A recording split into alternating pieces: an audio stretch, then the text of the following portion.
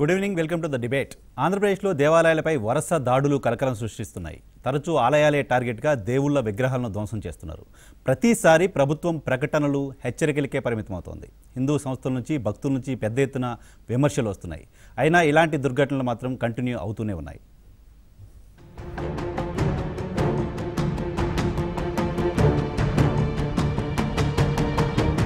ఆంధ్రప్రదేశ్లో గతంలో ఎప్పుడూ లేని స్థాయిలో ఇటీవలి కాలంలో ఆలయాలపై దాడులు జరగడం ప్రకంపనలు సృష్టిస్తోంది. ప్రధానంగా వైసీపీ ప్రభుత్వం అధికారంలోకి వచ్చిన తర్వాత ఈ దాడుల పరంపర పెరిగిపోయింది. భక్తుల మనోభావాలు తీవ్రస్థాయిలో దెబ్బతినేలా సంఘటనలు జరుగుతున్నాయి. దాడులు సంఘటనలను పరిశీలిస్తే ఉద్దేశపూర్వకంగానే హిందూ ఆలయాలపై ఇలా విరుచుకుపడుతున్నారన్న విమర్శలు జోరుగా వస్తున్నాయి.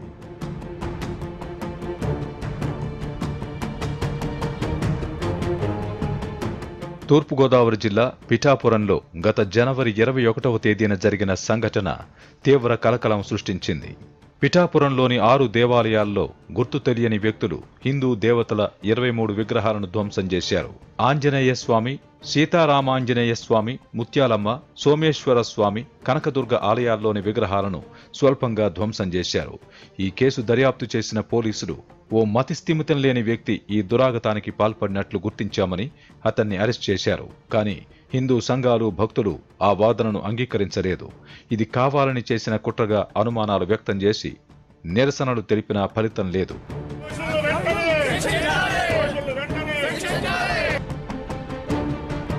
గత ఫిబ్రవరిలో నెల్లూరు జిల్లా బోగోలు మండలం కొండబిట్రగుంటలోని ప్రసన్న వెంకటేశ్వర స్వామి ఆలయ రథానికి నిప్పు పెట్టారు దుండగులు. కొండబిట్రగుంట సంఘటన జరిగిన మరుసటి రోజే పశ్చిమ గోదావరి జిల్లా సూర్యారావుపాలెం గ్రామంలో మహాలక్ష్మి బర్రెంకలమ్మ పోతురాజు ఆలయ ముఖద్వారాన్ని గుర్తు తెలియని వ్యక్తులు కూల్చివేశారు.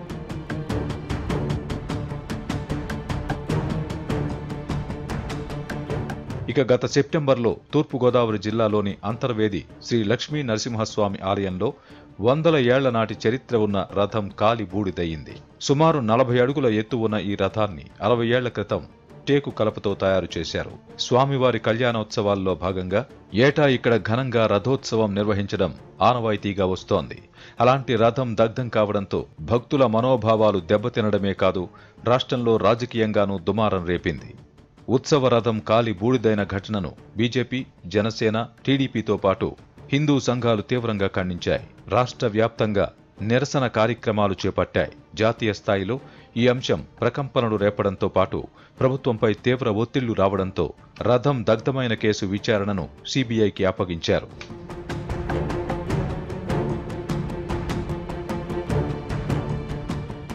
డిసెంబర్ రెండో వారంలో మరో సంఘటన కలకలం రేపింది. కర్నూలు జిల్లా గూడూరు మండలం పొన్నకల్లులో ఆంజనేయ స్వామి విగ్రహాన్ని దుండగులు పెకిలించారు. వందేళ్ళ చరిత్ర ఉన్న దాసాంజనేయ స్వామి ఆలయాన్ని దొండగులు ధ్వంసం చేశారు. ఇక తాజాగా మూడు రోజుల వ్యవధిలోనే మూడు దేవాలయాలపై దాడులు జరిగిన సంఘటనలు కూడా సంచలనం రేపుతున్నాయి. అది ఒకే రోజు రెండు ఆలయాలపై జరిగిన దాడులు తీవ్ర కలకలం సృష్టిస్తున్నాయి. విజయనగరం జిల్లాలోని పవిత్ర పుణ్యక్షేత్రం రామతీర్థంలో గుర్తు తెలియని దుండగులు బోడికొండపై ఉన్న కోదండరామస్వామి వారి విగ్రహాన్ని ధ్వంసం చేశారు. ఆలయ తాళాలు విరగ్గొట్టి లోపలికి ప్రవేశించి శ్రీరాముడి విగ్రహం నుంచి శిరస్సును తొలగించి ఎత్తుకుపోయారు. ఆలయ పరిసరాల్లోని కోనేటిలో పడేశారు. ఈ పరిణామంపై ఏపీ సీఎం జగన్ సీరియస్గా స్పందించారు. దేవుడి విగ్రహాలు ధ్వంసం చేస్తే కఠిన చర్యలు తప్పవని హెచ్చరించారు. ఇలాంటి చర్యలు పునరావృతం కాకుండా కఠిన చర్యలు తీసుకోవాలని అధికారుల్ని సీఎం జగన్ ఆదేశించారు.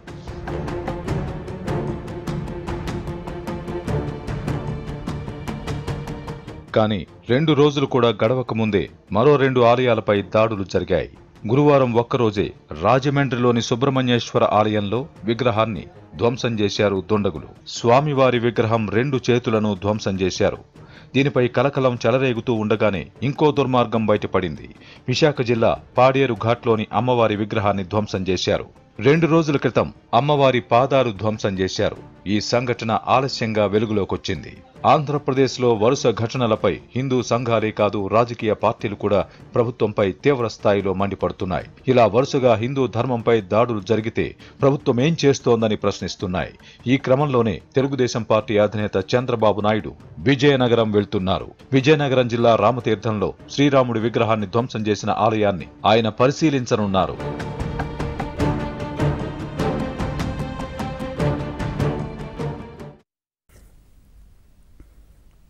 వరుసగా జరుగుతున్న దాడులు హిందువుల్లో ఆవేదన ఆందోళన కలిగిస్తున్నాయి. ప్రభుత్వం వ్యవహరిస్తున్న తీరు పట్ల మాత్రం అనుమానాలు వ్యక్తమవుతున్నాయి. ప్రభుత్వం దేవాలయాల ప్రభుత్వం వైఎస్ఆర్ కాంగ్రెస్ పార్టీ అధికారంలోకి వచ్చిన తర్వాత వందకు పైగా ఆలయాల్లో ఇలాంటి ఘటనలు జరిగాయి. ప్రధానమైన ఆలయాల్లో దుర్గగుడి లాంటి చోట జరిగింది అంతర్వేదిలో జరిగింది సింహాచలంలో ఇష్యూస్ జరుగుతున్నాయి. ఈరోజు జరిగిన ఘటన రామతీర్థం ఘటన ఇవన్నీ కూడా వరుసగా చాలా ప్రధాన ఆలయాల్లో కూడా తరచూ ఇలాంటి సంఘటనలు జరుగుతుంటే ప్రభుత్వం వ్యవహరిస్తున్న తీరు పట్ల ఆందోళన వ్యక్తమవుతోంది. ప్రభుత్వం మొదట్లో ఒకటి రెండు ఘటనలకు సంబంధించి మతి స్థిమితం లేని వారు చేసిన పనిగా చెప్పింది. ఆ తర్వాత తెలుగుదేశం పార్టీకి సంబంధించిన నాయకులు ఏవి చేస్తుంటారంటూ ఈరోజు తాజాగా విజయసాయిరెడ్డి కామెంట్ చేశారు. చంద్రబాబు నాయుడు లోకేష్ ఆధ్వర్యంలో ఇలాంటి దాడులు జరిగి ఉండొచ్చు. జరిగాయి అంటూ కూడా ఆయన ఒక ఆరోపణ తెలుగుదేశం పార్టీ పైన చేశారు. ఆలయాలపైన దాడులు జరుగుతున్నాయంటూ హిందువులు ప్రశ్నిస్తుంటే ఓ రాజకీయ పార్టీపై నెపం వేసే ప్రయత్నం ఎందుకు చేస్తోంది ప్రభుత్వం? ప్రభుత్వం అధికారంలో ఉన్న ప్రభుత్వం నిజంగానే ఓ రాజకీయ పార్టీ హిందూ దేవాలయాలు టార్గెట్గా దాడులు చేస్తుంటే విగ్రహాలు ధ్వంసం చేస్తుంటే ఎందుకు వాళ్ళని పట్టించుకోవట్లేదు? ఎందుకు వాళ్ళని పట్టుకోవట్లేదు? ఎందుకు వాళ్ళకి శిక్ష వేయట్లేదు? కేవలం రాజకీయ ఆరోపణలకే ఎందుకు పరిమితం అవుతోంది లోకేష్ కౌంటర్ ఇచ్చారు విజయసాయిరెడ్డి మాటలకు. లోకేష్ చెప్పిన మాట పింక్ డైమండ్ అంటూ గతంలో విజయసాయిరెడ్డి ఇలాగే ఫేక్ ఆరోపణలు చేశారు. పింక్ డైమండ్ ఉంది దాన్ని కాజేశ్వరు లాంటి ఆరోపణలు చేశారు. ఆ డైమండ్కి సంబంధించి కోర్టులో పిటిషన్ వేశారు. ప్రభుత్వం అధికారంలోకి వచ్చిన తర్వాత పింక్ డైమండ్ ఇష్యూకి సంబంధించి కోర్టులో వేసిన పిటిషన్ వెనక్కి తీసుకునే ప్రయత్నం విజయసాయిరెడ్డి చేస్తున్నారు. అధికారంలో ఉన్నప్పుడు ఈ వివా ఈ వివాదాలన్నింటినీ ఎవరైతే అధికారంలో ఉండి పింక్ డైమండ్ కాజేశారో వాళ్ళని బయటికి తీసుకొచ్చే ప్రయత్నం వాళ్ళపై చర్యలు తీసుకునే ప్రయత్నం చేయకపోగా ఇప్పుడు అధికారంలో ఉండి మళ్ళీ తాజాగా ఈ దాడులకు మేమే బాధ్యత అంటూ మాపై విమర్శలు చేయటం ఏంటంటూ లోకేష్ కౌంటర్ ఇచ్చారు. అంతేకాదు సింహాచలం ఆలయానికి వచ్చి ఆ దేవాలయాలపైన దేవుడి విగ్రహాలపైన జరుగు జరిగిన దాడులకు సంబంధించి మాకు ఎలాంటి సంబంధం లేదు అని ప్రమాణం చేయడానికి నేను సిద్ధంగా ఉన్నాను. ముఖ్యమంత్రి జగన్మోహన్ రెడ్డి సిద్ధమా అంటూ ఆయన సవాల్ చేసిన పరిస్థితుంది. ప్రభుత్వం ఎందుకు రాజకీయ పార్టీలపైన నెపం వేసే ప్రయత్నం చేస్తోంది?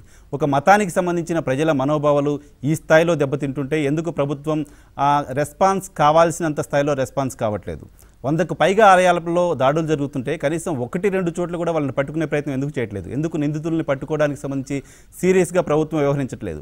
ఒక అంతర్వేది ఘటనకు సంబంధించి మాత్రం సిబిఐ విచారణ చేస్తామని చెప్పారు. ఇప్పటివరకు దానికి సంబంధించిన నిందితులను ఎంతమందిని పట్టుకున్నారు? ఏంటి అంటే ఎవరి దగ్గర సమాధానం లేని పరిస్థితి జనసేన అధినేత పవన్ కళ్యాణ్ కూడా చెప్తున్నారు హిందూ దేవాలయాలు టార్గెట్గా కావాలనే దాడులు జరుగుతున్నాయి. దానిపైన సిబిఐ విచారణ జరిపించాలని భారతీయ జనతా పార్టీ రాష్ట్ర వ్యవహారాల ఇన్ఛార్జిగా ఉన్న దియోదర్ ఈరోజు ఉదయం తిరుమలలో మాట్లాడారు. ఆయన కూడా భారతీయ జనతా పార్టీ రాష్ట్ర వ్యాప్తంగా ఆందోళన చేయబోతోంది. ఖచ్చితంగా ఈ వ్యవహారం వెనక ప్రభుత్వం ఉంది అనే ఒక అనుమానాన్ని వ్యక్తం చేస్తున్నారు. ఎందుకు పదే పదే దాడులు జరుగుతున్నాయి? ఫుల్ స్టాప్ ఎందుకు పడట్లేదు? కామాలే అవుతున్నాయి. ఒక దాడి తర్వాత ఒకటి కంటిన్యూస్గా జరుగుతున్నాయి. నిన్న రామతీర్థం ఘటన గురించి మాట్లాడుకుంటున్న సందర్భంలో ఇమీడియట్గా తెల్లారేసరికి మరో రెండు ఘటనలు చేతులు నరికేయడం పాదాలు నరికేయడం చాలా దారుణంగా హిందూ దేవుళ్ళు టార్గెట్గా దాడులు జరుగుతున్నాయి. ఈరోజు డిబేట్లో ఈ అంశంపైన చర్చిద్దాం. చర్చలో మనతో పాటు జాయిన్ అవుతున్నారు భారతీయ జనతా పార్టీ నుంచి ఆ పార్టీ కోశాధికారి సత్యమూర్తి గారు. అలాగే తెలుగుదేశం పార్టీ నుంచి ఆ పార్టీ సీనియర్ నేత ఎమ్మెల్యే బుచ్చయ్య చౌదరి గారు. జనసేన నుంచి గాదె వెంకటేశ్వరరావు గారు ఆ పార్టీకి సంబంధించిన అధికార ప్రతినిధి మనతో పాటు లైవ్లో జాయిన్ అవుతున్నారు. మరికొద్దిసేపట్లో హిందూ దేవాలయాల పరిరక్షణ సమితి నుంచి కమలానంద భారతి గారు లైవ్లో జాయిన్ అవుతారు. ముందుగా బుచ్చయ్య చౌదరి గారు గుడ్ ఈవినింగ్. గుడ్ ఈవినింగ్ అండి. ఉచ్చయ్య చౌదరి గారు ప్రభుత్వం చెప్తున్న మాట ఈ దాడుల వెనక తెలుగుదేశం పార్టీ ఉంది అని.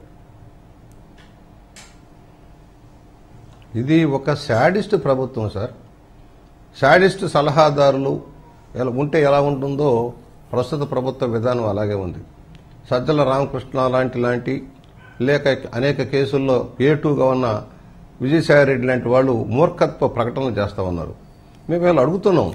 ఎప్పుడూ లేనంతగా ఈ రాష్ట్రంలో మత మార్పులు జరుగుతాయి. ఫస్ట్ బేస్లోకి వెళ్తే మత మార్పిళ్ళు ఏనాడు లేనంత విధంగా ఈ- జగన్ ప్రభుత్వం వచ్చిన తర్వాత మత మార్పులు జరుగుతున్నాయి. ఎక్కడ చూసినా మారుమూల ప్రాంతాల్లో సముద్ర తీర ప్రాంతాల్లో బలహీన వర్గాల్లో భారీ ఎత్తున మత మార్పులు జరుగుతున్నాయి. దానికి కారణాలు ఎవరు?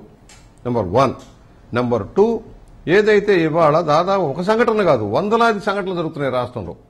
విగ్రహాలని ఏదైతే హిందూ ధర్మంలో విగ్రహారాధన ప్రధానమైంది. మాక్సిమం హిందువులంతా కూడా ఏదో ఒక దేవత పేరుతో దైవం పేరుతో వారిని పూజించడం అలవాటు. అలాంటి మీద మీద దాడులు జరుగుతూ ఉన్నాయి ఇవాళ మొట్టమొదటిసారిగా పిఠాపురంలో జరిగింది సార్. పిఠాపురం జరిగితే ఈ రోజు దగ్గర ఎందుకు దోషులు పట్టుకోలేదు?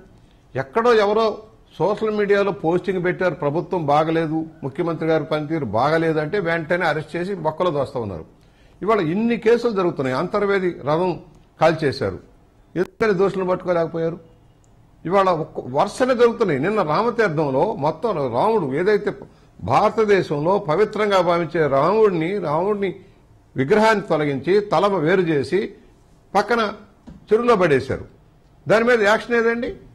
పోలీసు యంత్రాంగం అత్యుత్సాహం అనేక ఆలయాలపైన దాడులు జరిగితే లాభం జరిగేది ప్రభుత్వానికి కాదు. ప్రభుత్వానికి చెడ్డ పేరు వస్తుంది. ప్రభుత్వానికి చెడ్డ పేరు వచ్చేలా ప్రవర్తించే వాళ్ళెవరో ప్రజలందరికీ తెలుసు. సజ్జల రామకృష్ణారెడ్డి గారు చెప్తున్నారు. ప్రభుత్వానికి చెడ్డ పేరు రావడం కోసం ప్రతిపక్షాలు ఎలాంటి చర్యలకు సార్, పాల్పడుతున్నాయని అసలు ఈ మత సామరస్యం దెబ్బతినటానికి కారకులు ఈ సజ్జల రామకృష్ణ లాంటి దుర్మార్గులు దుర్మార్గులు అంటున్నాను కాదు. పోలీసు వ్యవస్థని నిర్వీర్యం చేశాడు. పోలీసు సలహాదారు ఆయన. హోం మంత్రిని కూడా పక్కన పెట్టి ఊరికి నాటకం ఆడిస్తాడు. ఆయనే ఆర్డర్లు వేసేది కేసులు పెట్టించేది కేసులు తీయించేది ఆయనే. ఇవాళ మేము అడుగుతున్నాం మా పార్టీకి ఏంటి సంబంధం? బీజేపీ నుంచి మాట్లాడలేరు. దన్ను ధైర్యం లేదు. ఉత్సాహపేడ ఒక్కొక్కరికి వైఎస్ఆర్ పార్టీ నాయకులకి. భయం. కేసుల్లో ఇరుక్కుపోయి ఉన్నారు కనుక ఇవాళ తెలుగుదేశం మీద దాడి చేస్తారు. నేను అడుగుతా ఉన్నా గతంలో కూడా ఇట్లాగే తిరుపతిని ఇవాళ అపవిత్రం చేస్తున్నారు సార్. తిరుపతి దేవస్థానాన్ని అపవిత్రం చేస్తా ఉన్నారు. ఇష్టారాజ్యంగా చేస్తున్నారు తప్పులు చేస్తా ఉన్నారు. వాటిని కొల్లగొట్టేదానికి ఒక కార్యక్షేత్రంగా మార్చుకుంటా ఉన్నారు. ఇవాళ ఒకప్పుడు నిందారోపణలు చేశారు. ఏ ఎందుకు కేసు విత్డ్రా చేసుకుంటున్నారు ఇవాళ? సిగ్గు శరమందా? ఈ విజయసాయి రెడ్డికి ఇంతగా మాట్లాడతాడు. ఇవాళ నాకు పైన బీజేపీ అధిష్టానంతో నాకు పెద్ద సఖ్యత ఉందని చెబుతాడు. నేను అడుగుతా ఉన్నా పింక్ డైమండ్ పోయింది చంద్రబాబు గారు ఇంట్లో ఉంది లాకర్లో ఉందని చెప్పావు కదా ఎందుకు రుజువు చేయలేక ఇవాళ కేసు విత్డ్రా చేసుకుంటున్నావు? సిగ్గుందా? ఇంత ఇంత ఘాటుగా ఎందుకు మాట్లాడుతున్నట్టు సిగ్గుందా? ఇంకా ఆరోపణలు చేస్తావు తెలుగుదేశం మీద. ఇవాళ చేతగాని దద్దమ్మలాగా దోషులను పట్టుకోవడం చేతగాక వీటిని నిరోధించడం చేతగాక ఇవాళ గోబెల్స్ ప్రచారం చేస్తారు. అసలు మత మార్పులను ఎందుకు ఆపలేకపోతున్నారు మీరు ఈ రాష్ట్రంలో? ఇంత భారీ ఎత్తున మత మార్పులు అంటే దీన్ని ఓట్ బ్యాంక్ మార్చుకోవాలన్న ఆలోచన మీకు? ఓట్ బ్యాంక్ రాజకీయాలు చేస్తా ఉన్నారా? దాన్ని ముందు ప్రశ్నించాల్సిన అవసరం ఉంది. ఎక్కడ చూసినా ఈ ప్రభుత్వం వచ్చాక మత మార్పులు భారీ ఎత్తున. ఊరికి పది మంది ఇరవై మంది తయారు చేసి వాళ్ళ ద్వారా మత మార్పులు చేసుకుంటూ పోతా ఉన్నారు. అంటే వాళ్ళందరినీ నేను మత ఒక మతానికి వ్యతిరేకం కాదు సార్. ఏం చెప్పదలుచుకున్నారు చౌదరి గారు? మత మార్పిడికి ఆలయాలపైన. జరుగుతున్న దాడులకు ఏమైనా సంబంధం ఉంది అని భావిస్తున్నారా? నాస్తికులకు సంబంధం ఉండదు సార్. ఇది హిందూ ధర్మం మత విధానాలకి వ్యతిరేకిస్తూ అవమానపరచడం అవమానపరచడమే నేను అంటాను. ఎందుకు తే- తేల్చలేకపోయారు? ఒకవేళ ఎవరైనా ఉన్నారు ఎందుకు తేల్చలేకపోతున్నారు? ఎప్పటి నుంచి? వన్ ఇయర్ నుంచి జరుగుతున్నాయి. వన్ ఇయర్ నుంచి మీరు ఎందుకు తేల్చలేకపోతున్నారు? మీ అంతే మీరు ఎన్నెన్నో కేసులు ఛేదిస్తామని చెప్పిన వాళ్ళు ఈ కేసులు ఎందుకు ఛేదించలేకపోతున్నారు అనేది ప్రశ్న. సూటిగా సమాధానం చెప్పాలి. ఏంటి మీ అనుమానం ఏంటి? రాష్ట్రంలో ఎందుకు చేయించలేకపోతుంది ప్రభుత్వం. ఎందుకు ఆపలేకపోతుంది. ప్రభుత్వం? కావాలనే సార్. కావాలనే. నేను చెప్పాగా ఒక పక్క మత మార్పులను ప్రోత్సహిస్తోంది ప్రభుత్వం. భారీ ఎత్తున మత మార్పులు జరిగిపోతున్నాయి రాష్ట్రంలో. అది చాలా ప్రమాదం. స్వేచ్ఛగా స్వతంత్రం ఎందుకంటే రాజ్యాంగం ఇచ్చిన ప్రకారం ఏ మతాన్నైనా స్వీకరించవచ్చు. ప్రలోభ పెట్టి ఒత్తిళ్ళు చేసి రకరకాల వాగ్దానాలు చేసి మత మార్పులు జరిగిపోతా ఉన్నాయి. మీరు చూడండి వాళ్ళ ట్రైబల్ ప్రాంతాల్లో కానీ బలహీన వర్గాలు ఉన్న ప్రాంతంలో కానీ లేక మత్స్య కార్మికులు ఉండే ప్రాంతంలో ఏ విధంగా జరుగుతున్నాయో అందరికీ తెలుసు రాష్ట్రంలో. ఎందుకు జరుగుతుంది ఇది? ఎప్పుడూ లేదే? దాని మీద కూడా అందరం ఆలోచన చేయాల్సిన సమాజం ఎందువల్ల? ఒకప్పుడు ఎప్పుడో ఉండే ఈ శైవులు వైష్ణవులు కొట్టుకునేవారు. లేక ముస్లింస్ వచ్చి దండయాత్రలు చేసి దేవాలయాలన్నీ కూల్చేశారు. ఇవాళ జరుగుతుంది అదే. ఆనాడు జరిగింది మళ్ళీ ఇవాళ జరుగుతుంది ప్రభుత్వ హయాంలో. ఏ దేశంలో ఏ రాష్ట్రంలో లేని విధంగా ఇక్కడ జరుగుతా ఉంది. ఎవరైనా మాట్లాడితే పవన్ కళ్యాణ్ గారు మాట్లాడితే రోజే ఒక బీజేపీ హిందూ దేవాలయాన్ని కూల్చివేసిన ఘటన ఒకటి ఈ రోజు చూసాం.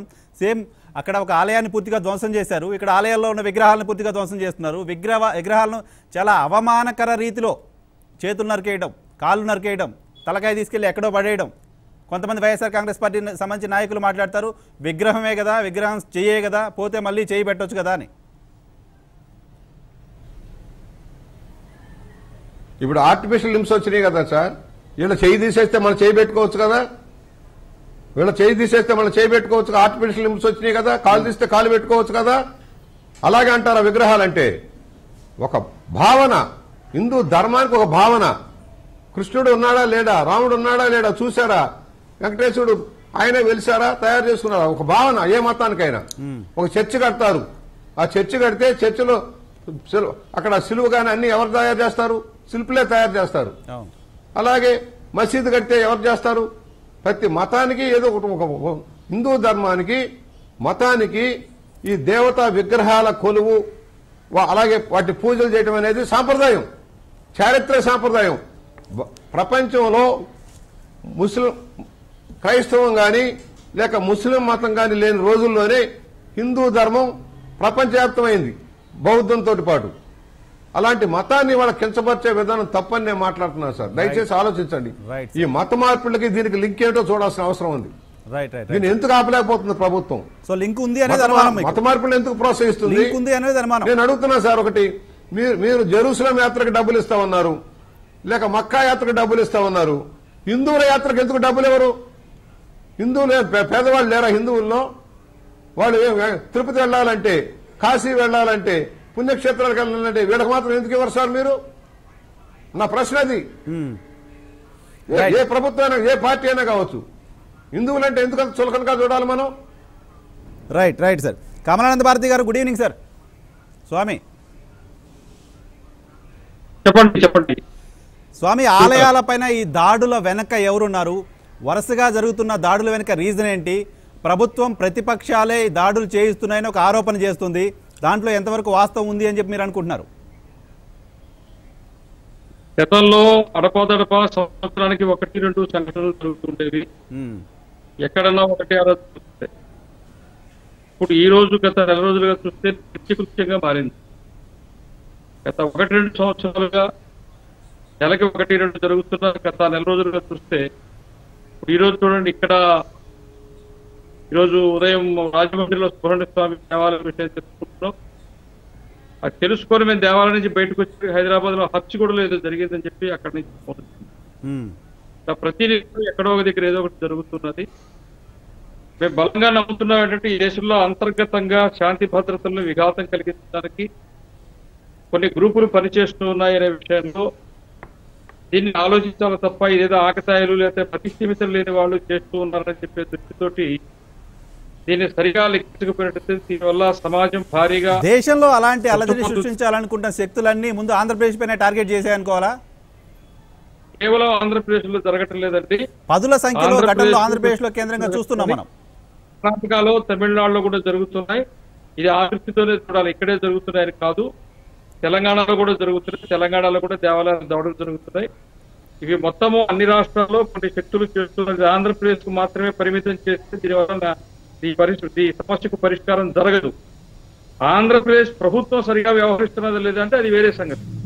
ఆంధ్రప్రదేశ్ ప్రభుత్వం దీని పట్ల సీరియస్గా వ్యవహరించాలి.